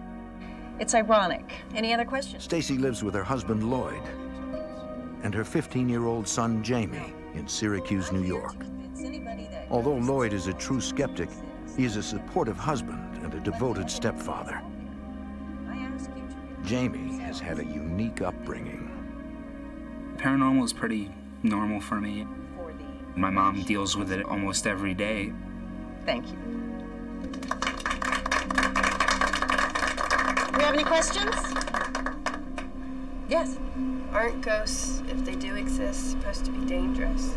Well, the human spirit poses a danger that is more psychological than physical. Uh, what are the exceptions? The exceptions? well, that's a question for my friend John Zaffis, if I ever heard one, ladies and gentlemen, our expert on the dark and dangerous, Mr. John Zaffis. Thank you, Stacy.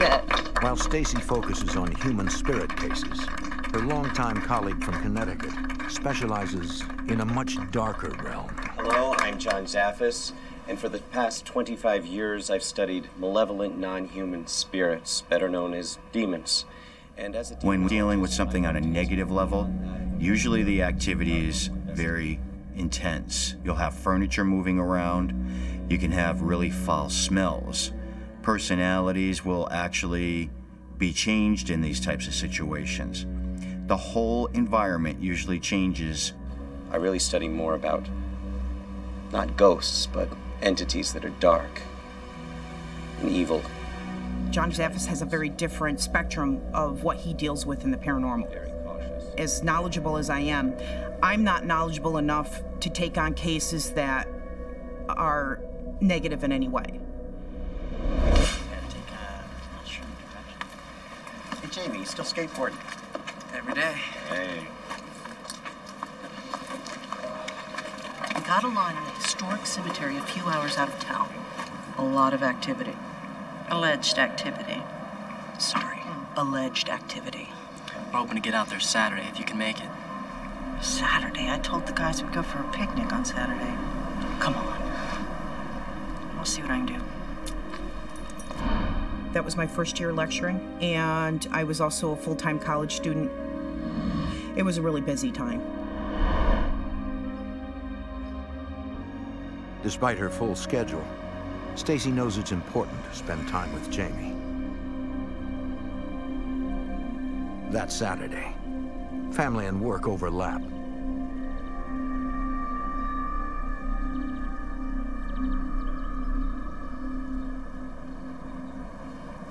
Nice spot. Yeah, well, we thought you'd like it. It's slightly less depressing than the office on a Saturday night. You know? Which, by the way, I gotta leave for. So, you wanna come with me, Jamie? I'll take you home on the way in. Nah, I'd rather stay here and skate. Mom's gonna be here all night. Yeah, but it's better than watching TV by myself. Can I stay one? Yeah. We'll make it an early night, I promise. Okay. All right. Say hi to Casper for me, okay? Uh-huh. Bye, Lloyd. See ya.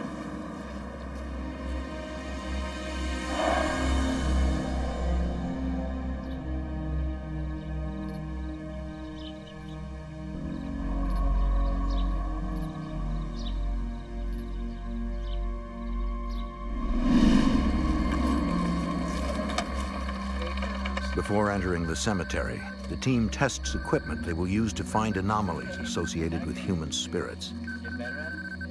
Electromagnetic field monitors detect abnormal shifts in energy. Infrared cameras record light sources invisible to the naked eye. And digital audio recorders capture sounds imperceptible to the human ear. Okay, there you go. Good. But not all the equipment is sophisticated. There we go. What's that? Dowsing rods. What do they do? Some people believe that they can mystically find just about anything a person seeks. Oh, Regina, that's ridiculous, and you know it. Dowsing is an ancient procedure for finding ionized objects underground. Water, metal, nothing more, nothing less. I have never personally used dowsing rods. I, I've never had anybody in my group seriously use dowsing rods. I doubted them a lot. Oh, Can I try? All right, here's how you do it. Put them parallel, and when they come in, start tapping like that. You got something. All right? Jamie normally doesn't go on investigations with me, but we found that cemeteries are usually pretty benign, so I felt pretty comfortable taking him. Wow. This place is huge.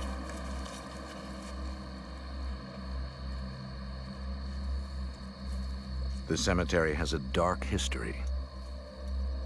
It entombs the remains of soldiers who met violent deaths in every American war since the mid-1800s. We got emails from people stating that they have gone in and seen shadows moving. I'm skeptical of what people report because they go into places wanting to be scared. Can you take this?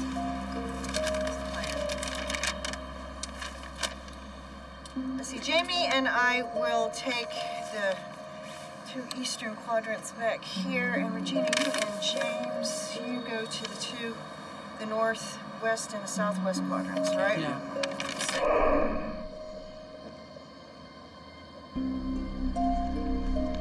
So what am I supposed to do with these things? Oh, well, if you listen to James and Regina, you can use them to try to find a specific grave. Like what? Oh, I don't know, honey. Smith? Take me to a grave marked Smith. Nothing. Huh, imagine that.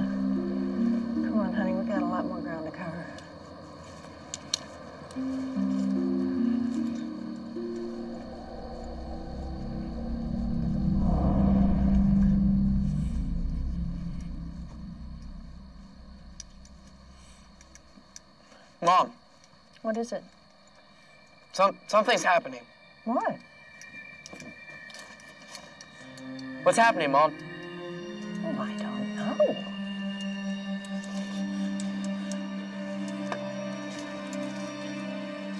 What are you doing? I'll be damned. You found a grave marked Smith. Don't you find that a little freaky? I was intrigued by it, but I was still skeptical. No, Jamie, be rational in a cemetery this big. There's probably a hundred graves marked Smith. Then, uh, how do you explain the rods vibrating? Oh, probably metal deposits in the soil. It's probably. My mom's constantly downplaying experiences. There's always a scientific conclusion that could be made off these facts that we find. Jamie, what is the first rule of paranormal investigation? Be skeptical. Exactly. Those things are probably going to detect metal ten more times tonight. Now, come on, let's go. Stay close to me. I don't want you wandering off.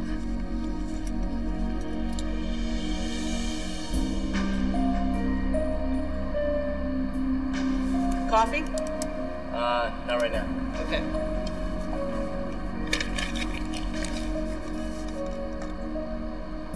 I'm gonna check in with Stacy. Hey, uh, we're in the old section. Anything interesting happening there yet? Not really. It's still early, but I'm not sure there's much to find out here.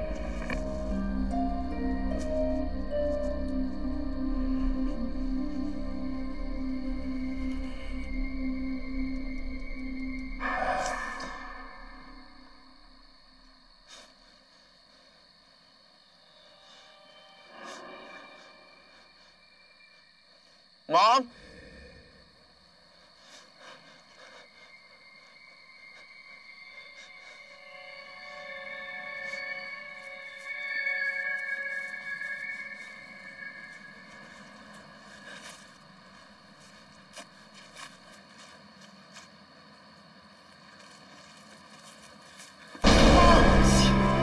You need to keep up with me, Jamie. Sorry. Take them. You all right? Just take them. Well, put them in my backpack. Here.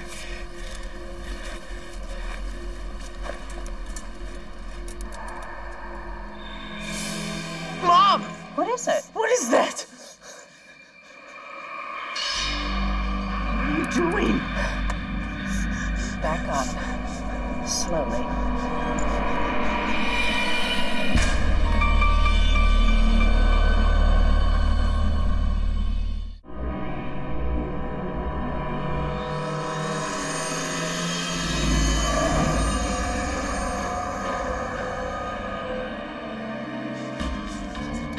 Stacy fears they've just encountered shadow people. They're black forms that dart between trees and tombstones. The sense I got from it was negative. James, Regina, pack it up. Meet us at the van. Stacy out. Read that. Over. Hey, we're packing this up and moving on. Come on. What's up? Stacy says we need to go. My investigators have learned over the years that I don't overreact with anything. And when I come back concerned, they know that there's something up and they know it's time to pack up our, our gear and get out. Some researchers believe shadow people are dark beings. Others think they're negative psychic energies. Either way, Stacy knows they aren't human spirits. I really felt vulnerable. It wasn't safe anymore. And I've learned over the years to trust this instinct.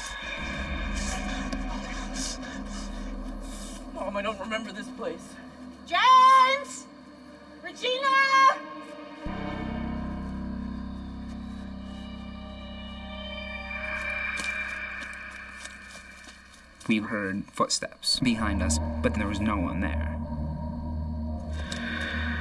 Is that them? I don't know. This way.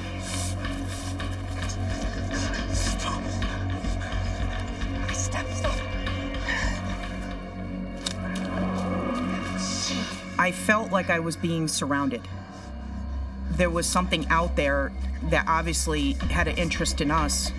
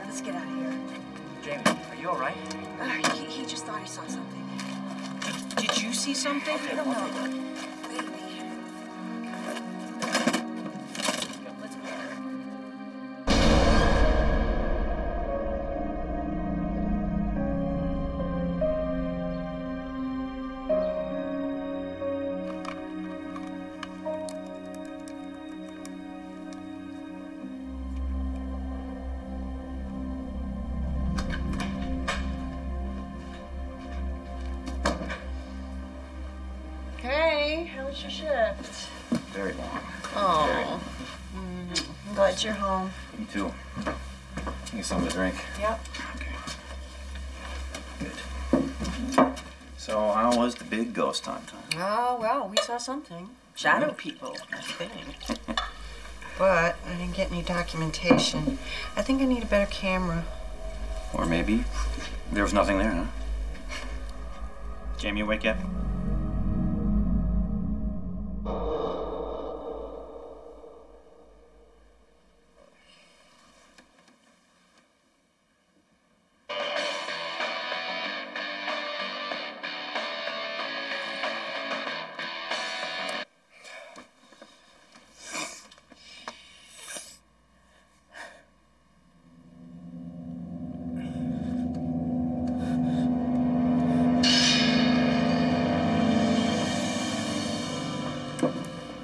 Oh, morning, sweetie. Mom. Oh, Jamie, about last night at the cemetery, I think we ended up just scaring ourselves more than anything. What about this? My God, Jamie, what did you do to yourself? I didn't do anything. Well, of course you did. That didn't just appear by itself. What in the world happened? I didn't do anything. It just like appeared, I swear. In the back of my mind, I really had an nagging suspicion that something had gone on. But then my rationale kicked in. It's there. If you didn't do it, how did it get there? So I basically cleaned it up and let it go. Stop! You gouged it. We gotta keep it. I just felt completely betrayed. Go into my room. No. Jamie! We can try to downplay it as much as we want, but what are the chances of it being a perfect star? In the following days, Jamie senses the world around him changing. As the school year begins, he's numb to everyone. That's enough. Outside now. Look, I don't know what kind of stunt you're pulling in there, but I'm not gonna tolerate it. I didn't do anything. All right, wise guy. Let's see if you remember for the principal. But I, but no, I didn't do right anything. Right now, right now. Let's go. What's going on? Nothing? Do you remember anything about incessant mumbling? No. I swear. Nothing is nothing nothing. Nothing is nothing Jamie. What's wrong with you? You want another detention? What for? That's two. You want another one? Why? Enough. Everything in my mind was completely normal. There was not a single thing wrong. But then there's all these things happening, and for the sake of me, I could not figure out why. Get out of here. Let's go. Come on. Now, let's go. Sorry.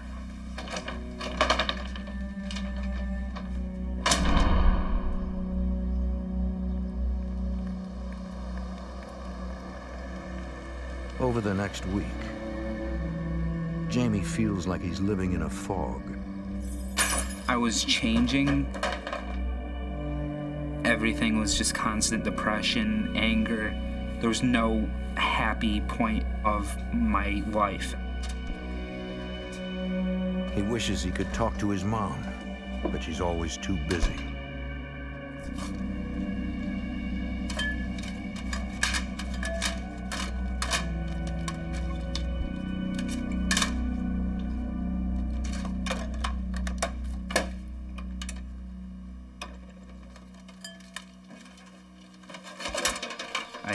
Nothing. All I had was to sit in my room, listen to music, and that's it.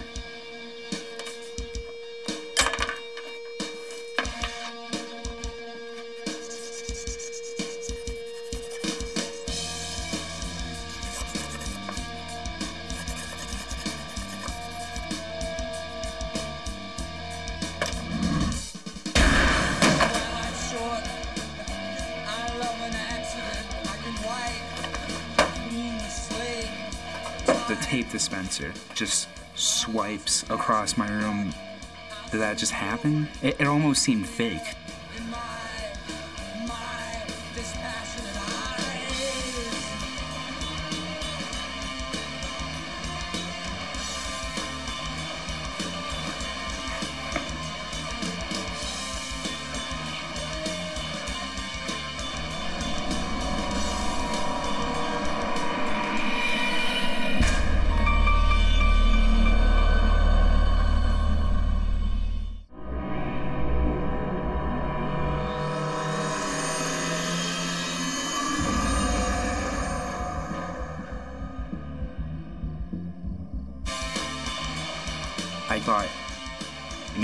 Maybe my house is haunted.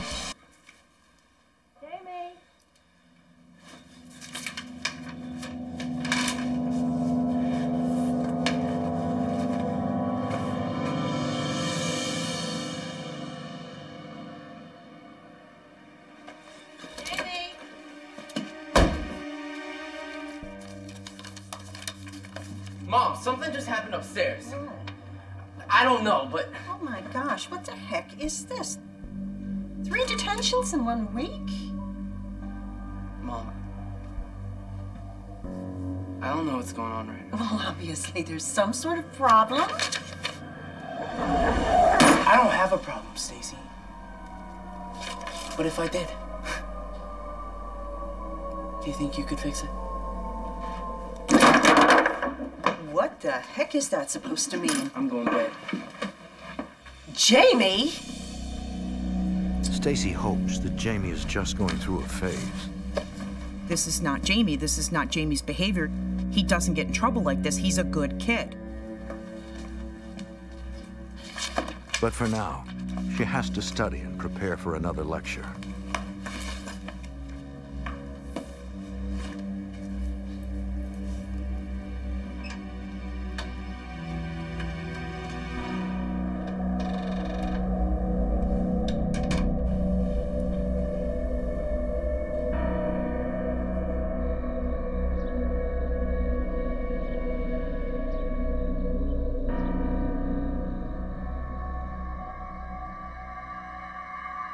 After hours of work,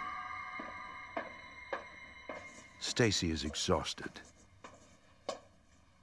Night, Jamie.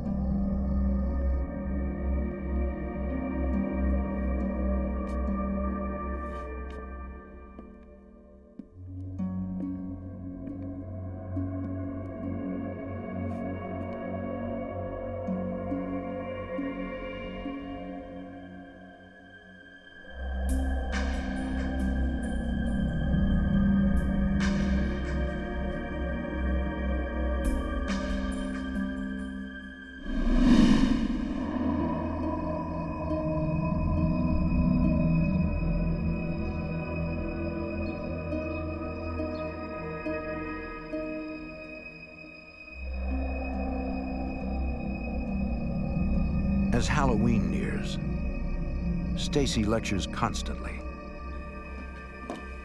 Hey, have you, either of you guys seen my diamond earrings? What, they're not in your jewelry box? No. Oh, wait, I already looked there. Have either of you seen my earrings? No, no, I haven't seen them. Oh, for gosh sakes. Oh, I'm gonna be late. Yeah, me too. Look, you, after dinner, homework. You gonna check my answers? You know, I might.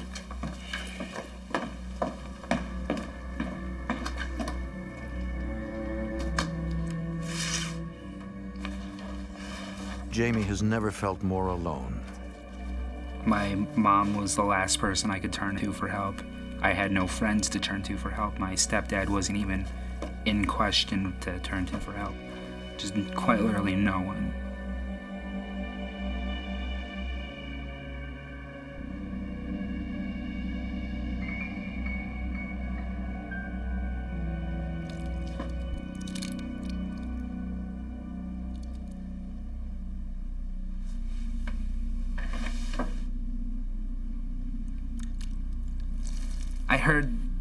Gross, frictiony, wet noise.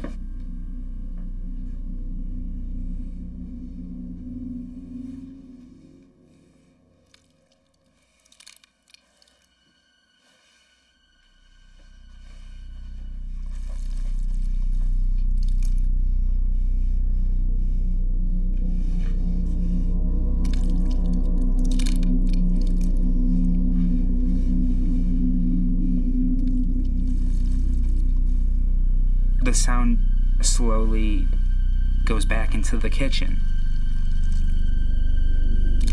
It goes into the computer room. It was just a constant goose chase.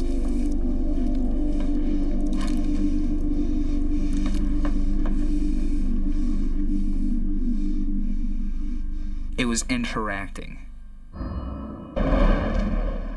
Jamie passes the night alone, afraid the one person he used to count on won't believe him. Should I tell my mom? After the star, the tape dispenser. Every time I tell her, she'd blow it off, put it aside. What's wrong?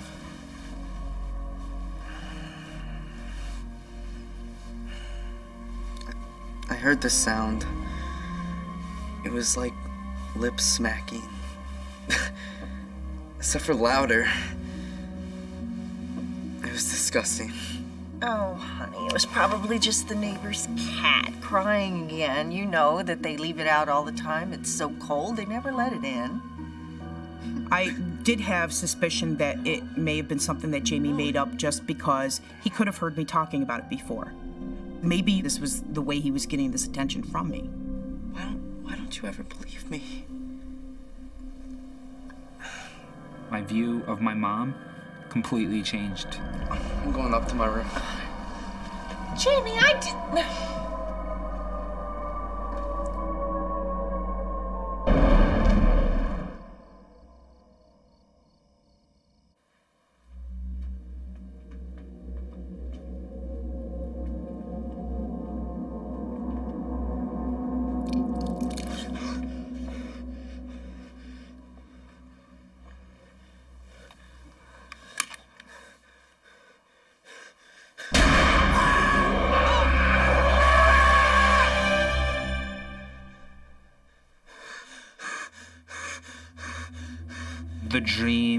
So incredibly real. The idea struck me that things were gonna get just completely out of control violent.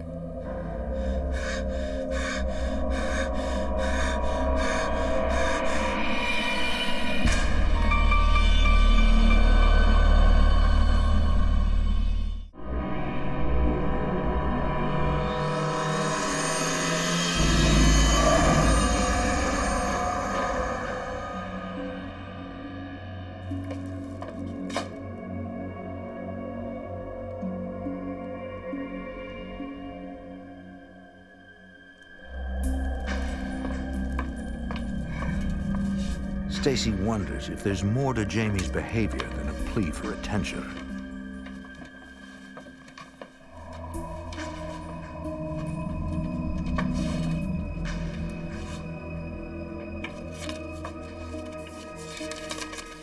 Jamie's been hiding his report card. He was failing everything. What exactly is going on with this kid?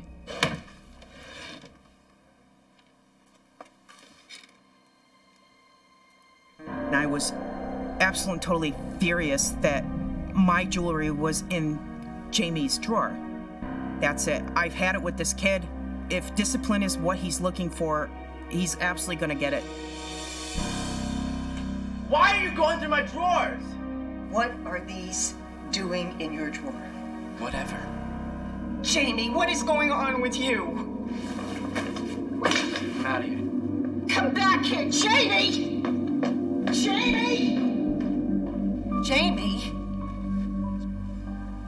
Stole from me, Jamie. You stole from me and you lied to me. Yeah, I guess I did. Bad, bad Jamie. Talk to her like that. Shut your mouth, Lloyd. You might embarrass yourself in front of my mom. All right, stop it. Just stop it right now. Mom, what what I do? All right, that's it. Go on upstairs. I'm tired of looking at you. Go, go on. This relationship completely turned on a dime in, in less than three months. To the point where I just really didn't even want my own son around me, and I just didn't even like him at that point. And that scared me even more. Everything just went to hell. I could not find a single thing to be happy about.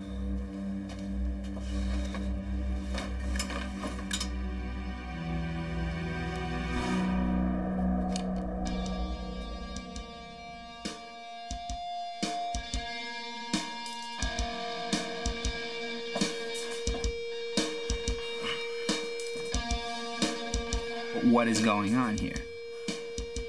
Is this seriously, seriously all going on right now? Yeah, I don't have any control of this. I hate the idea of stealing, but sure enough, I did it. It just freaked me out so much. I could not figure out why. Constant negative, negative, negative, negative. This is completely out of my hands. Well, maybe it is just me. Maybe I am a bad person.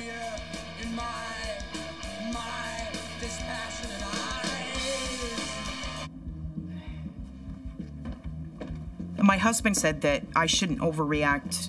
I didn't agree. This was not Jamie. This was not the way he is.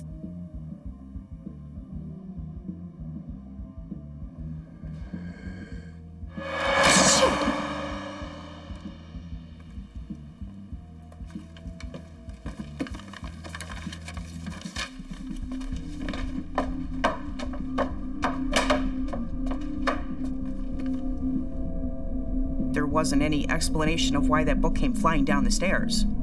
There was nobody there. There was really something going on here.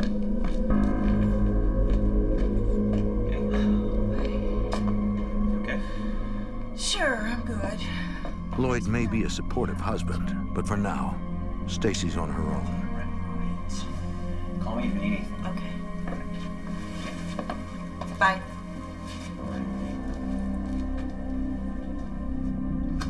I started putting things together saying, okay, there is something paranormal going on in my house. Stacy suspects Jamie is the focus of a poltergeist.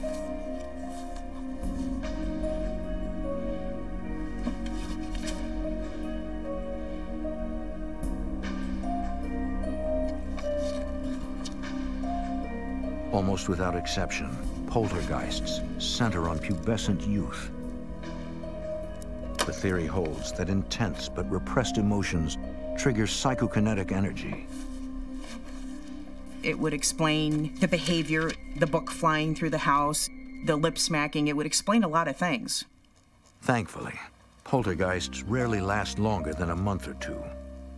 I figured it's something that's going to be so short lived that I could deal with it and we can move on.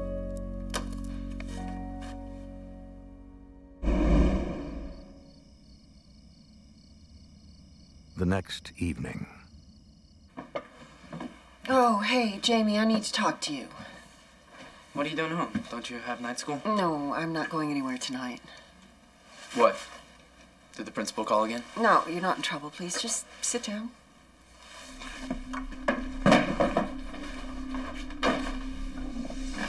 Okay, listen, I, I think I understand what's been going on. I think you've been the target of a poltergeist. What? It would explain a lot of the things that have been going on around here, like the weird noises, stuff flying around.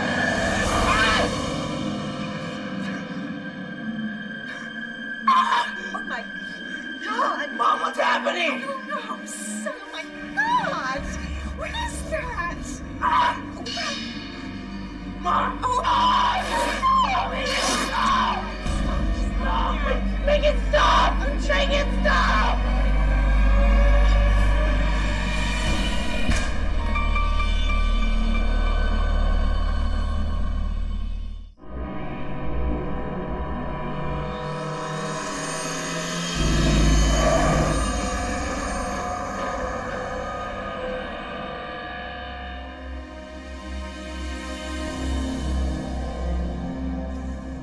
Stacy fears she's dealing with something far more dangerous than a poltergeist.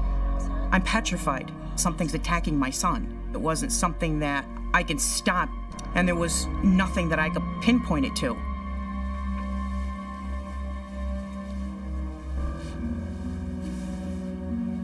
You're a good kid.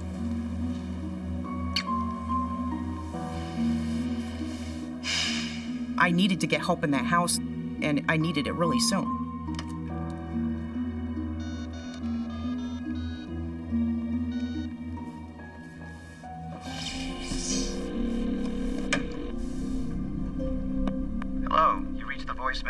Voicemail of John Zaffis. Please leave a message. John, pick up. It's me. It's Stacy. John, are you there? Look, um, John, there's something attacking Jamie. I need you. I'm really scared.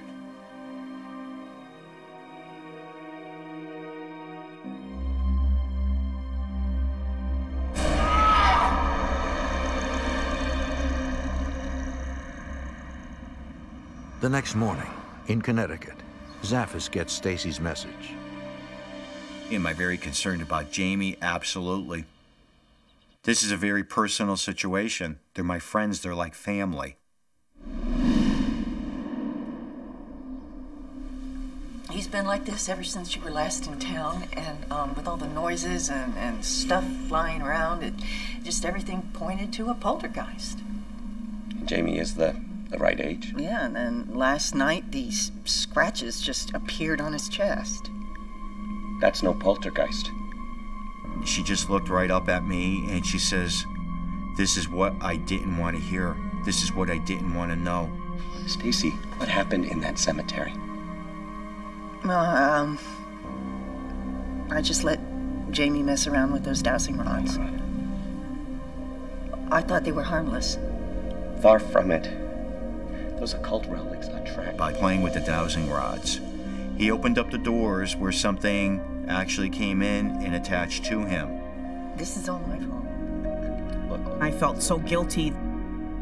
If a client had called me up and said all these things had happened, I would take that very seriously and and get help as soon as I could. And I, in my own case, I didn't do that. Hello? Mom? Honey, I told John everything. What? Would you mind showing me the scratches? Why? Jamie, please.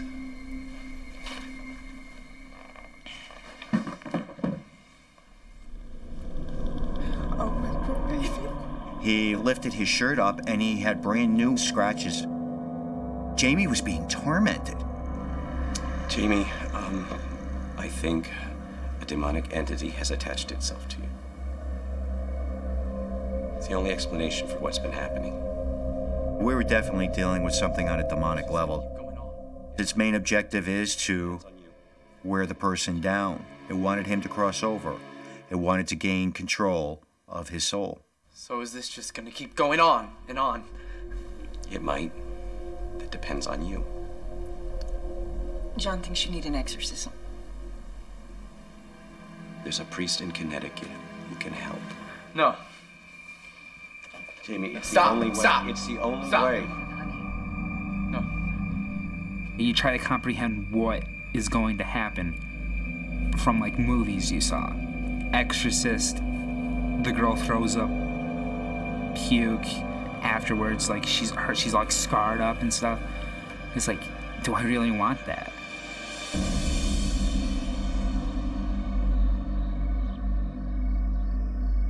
Without Jamie's consent, there can be no exorcism.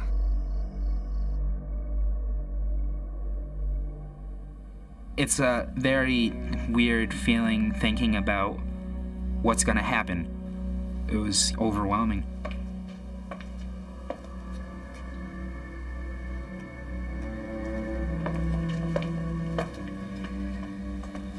Jamie, I love you more than anything in this world.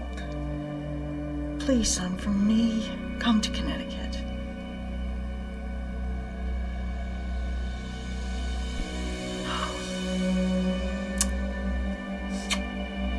Thank you.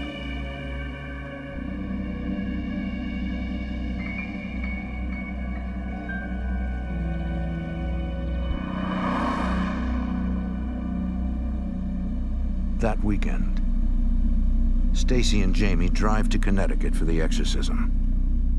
I was afraid for Jamie. I was afraid of what they were going to do, but I knew that this was the only way. This was the only answer that we had.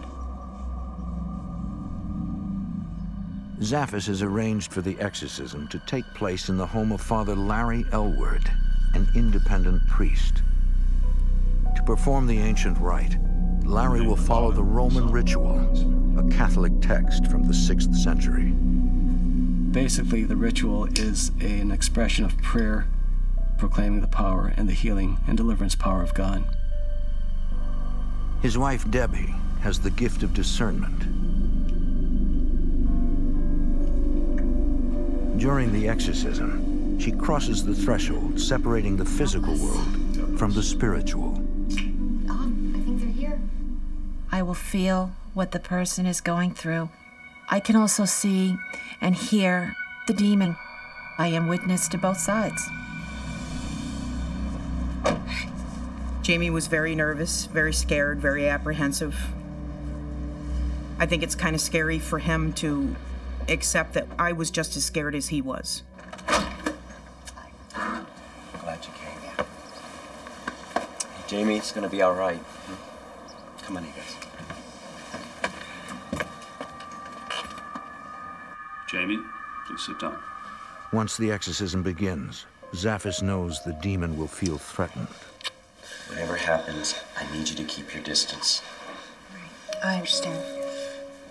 He fears the demon could lash out at Stacy through Jamie. You secure his left side, I'll secure his right. When a demonic presence enters the room, I feel very nauseous. My skin seems to crawl. Despite the pain, Debbie must focus on discerning the demon's name. Demons don't like to be recognized or acknowledged. By using their name, we are getting power over the demon. Larry opens the ritual with the litany of the saints. Lord, have mercy. Have mercy on us. Christ, have mercy. Have mercy on us. God the Father in heaven. Have mercy on us. God the Son, Redeemer of the world. Have mercy on us. God the Holy Spirit. Have mercy on us.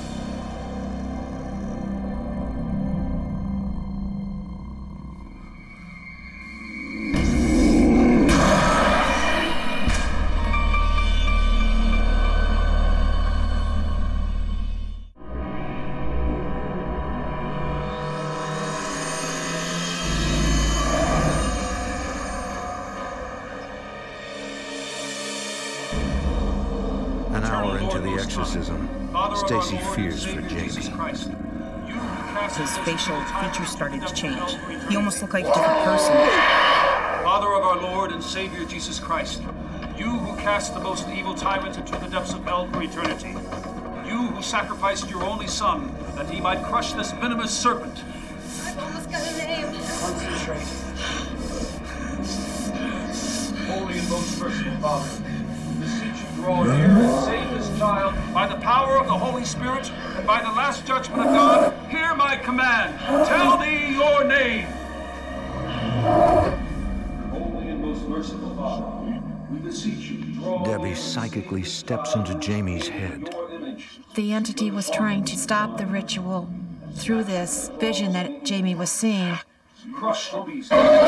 Jamie thought he was lashing out at Larry and at me, but that never happened.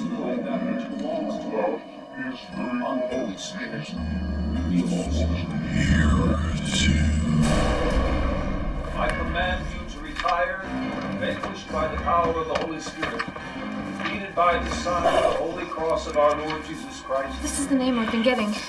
Irritum. Nothingness, worthlessness, vanity.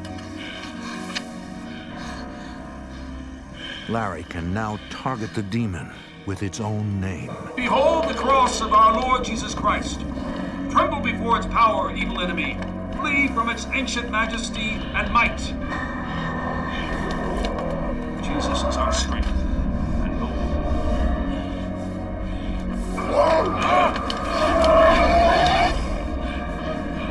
In the name of the Father, the Son, and the Holy Spirit, I beseech you, give me strength against the unclean spirit that delights in tormenting a child of your creation. Amen.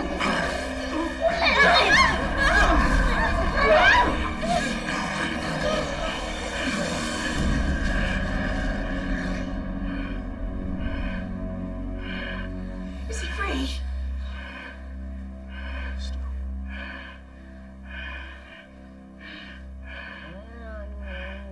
I exorcise the invading enemy.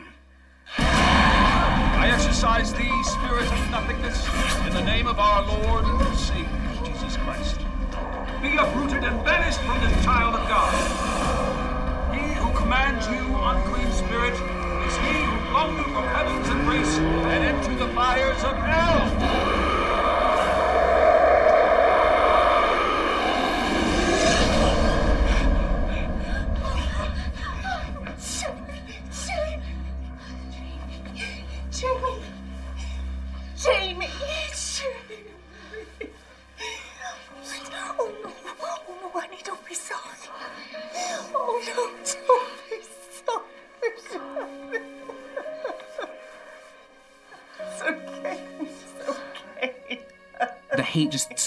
Just went away, went away.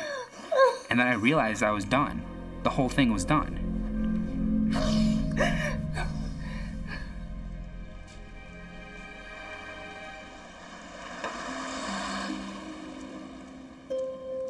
In the months following the exorcism, Jamie's life returns to normal.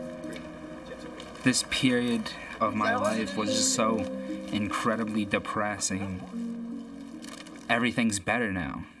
You think you can keep up with your old? You're going down, Dad.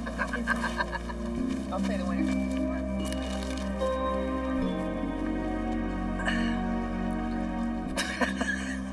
Stacy can't help thinking back to the night that she let Jamie tag along at the cemetery. Do I regret it? Yes, I do regret it. I wish I could go back and leave Jamie home. But almost in a way, it made us grow stronger. Now, it's almost like there's this unspoken bond between us because we've been through it together and we got past it and we'll move on for the future. Make him run.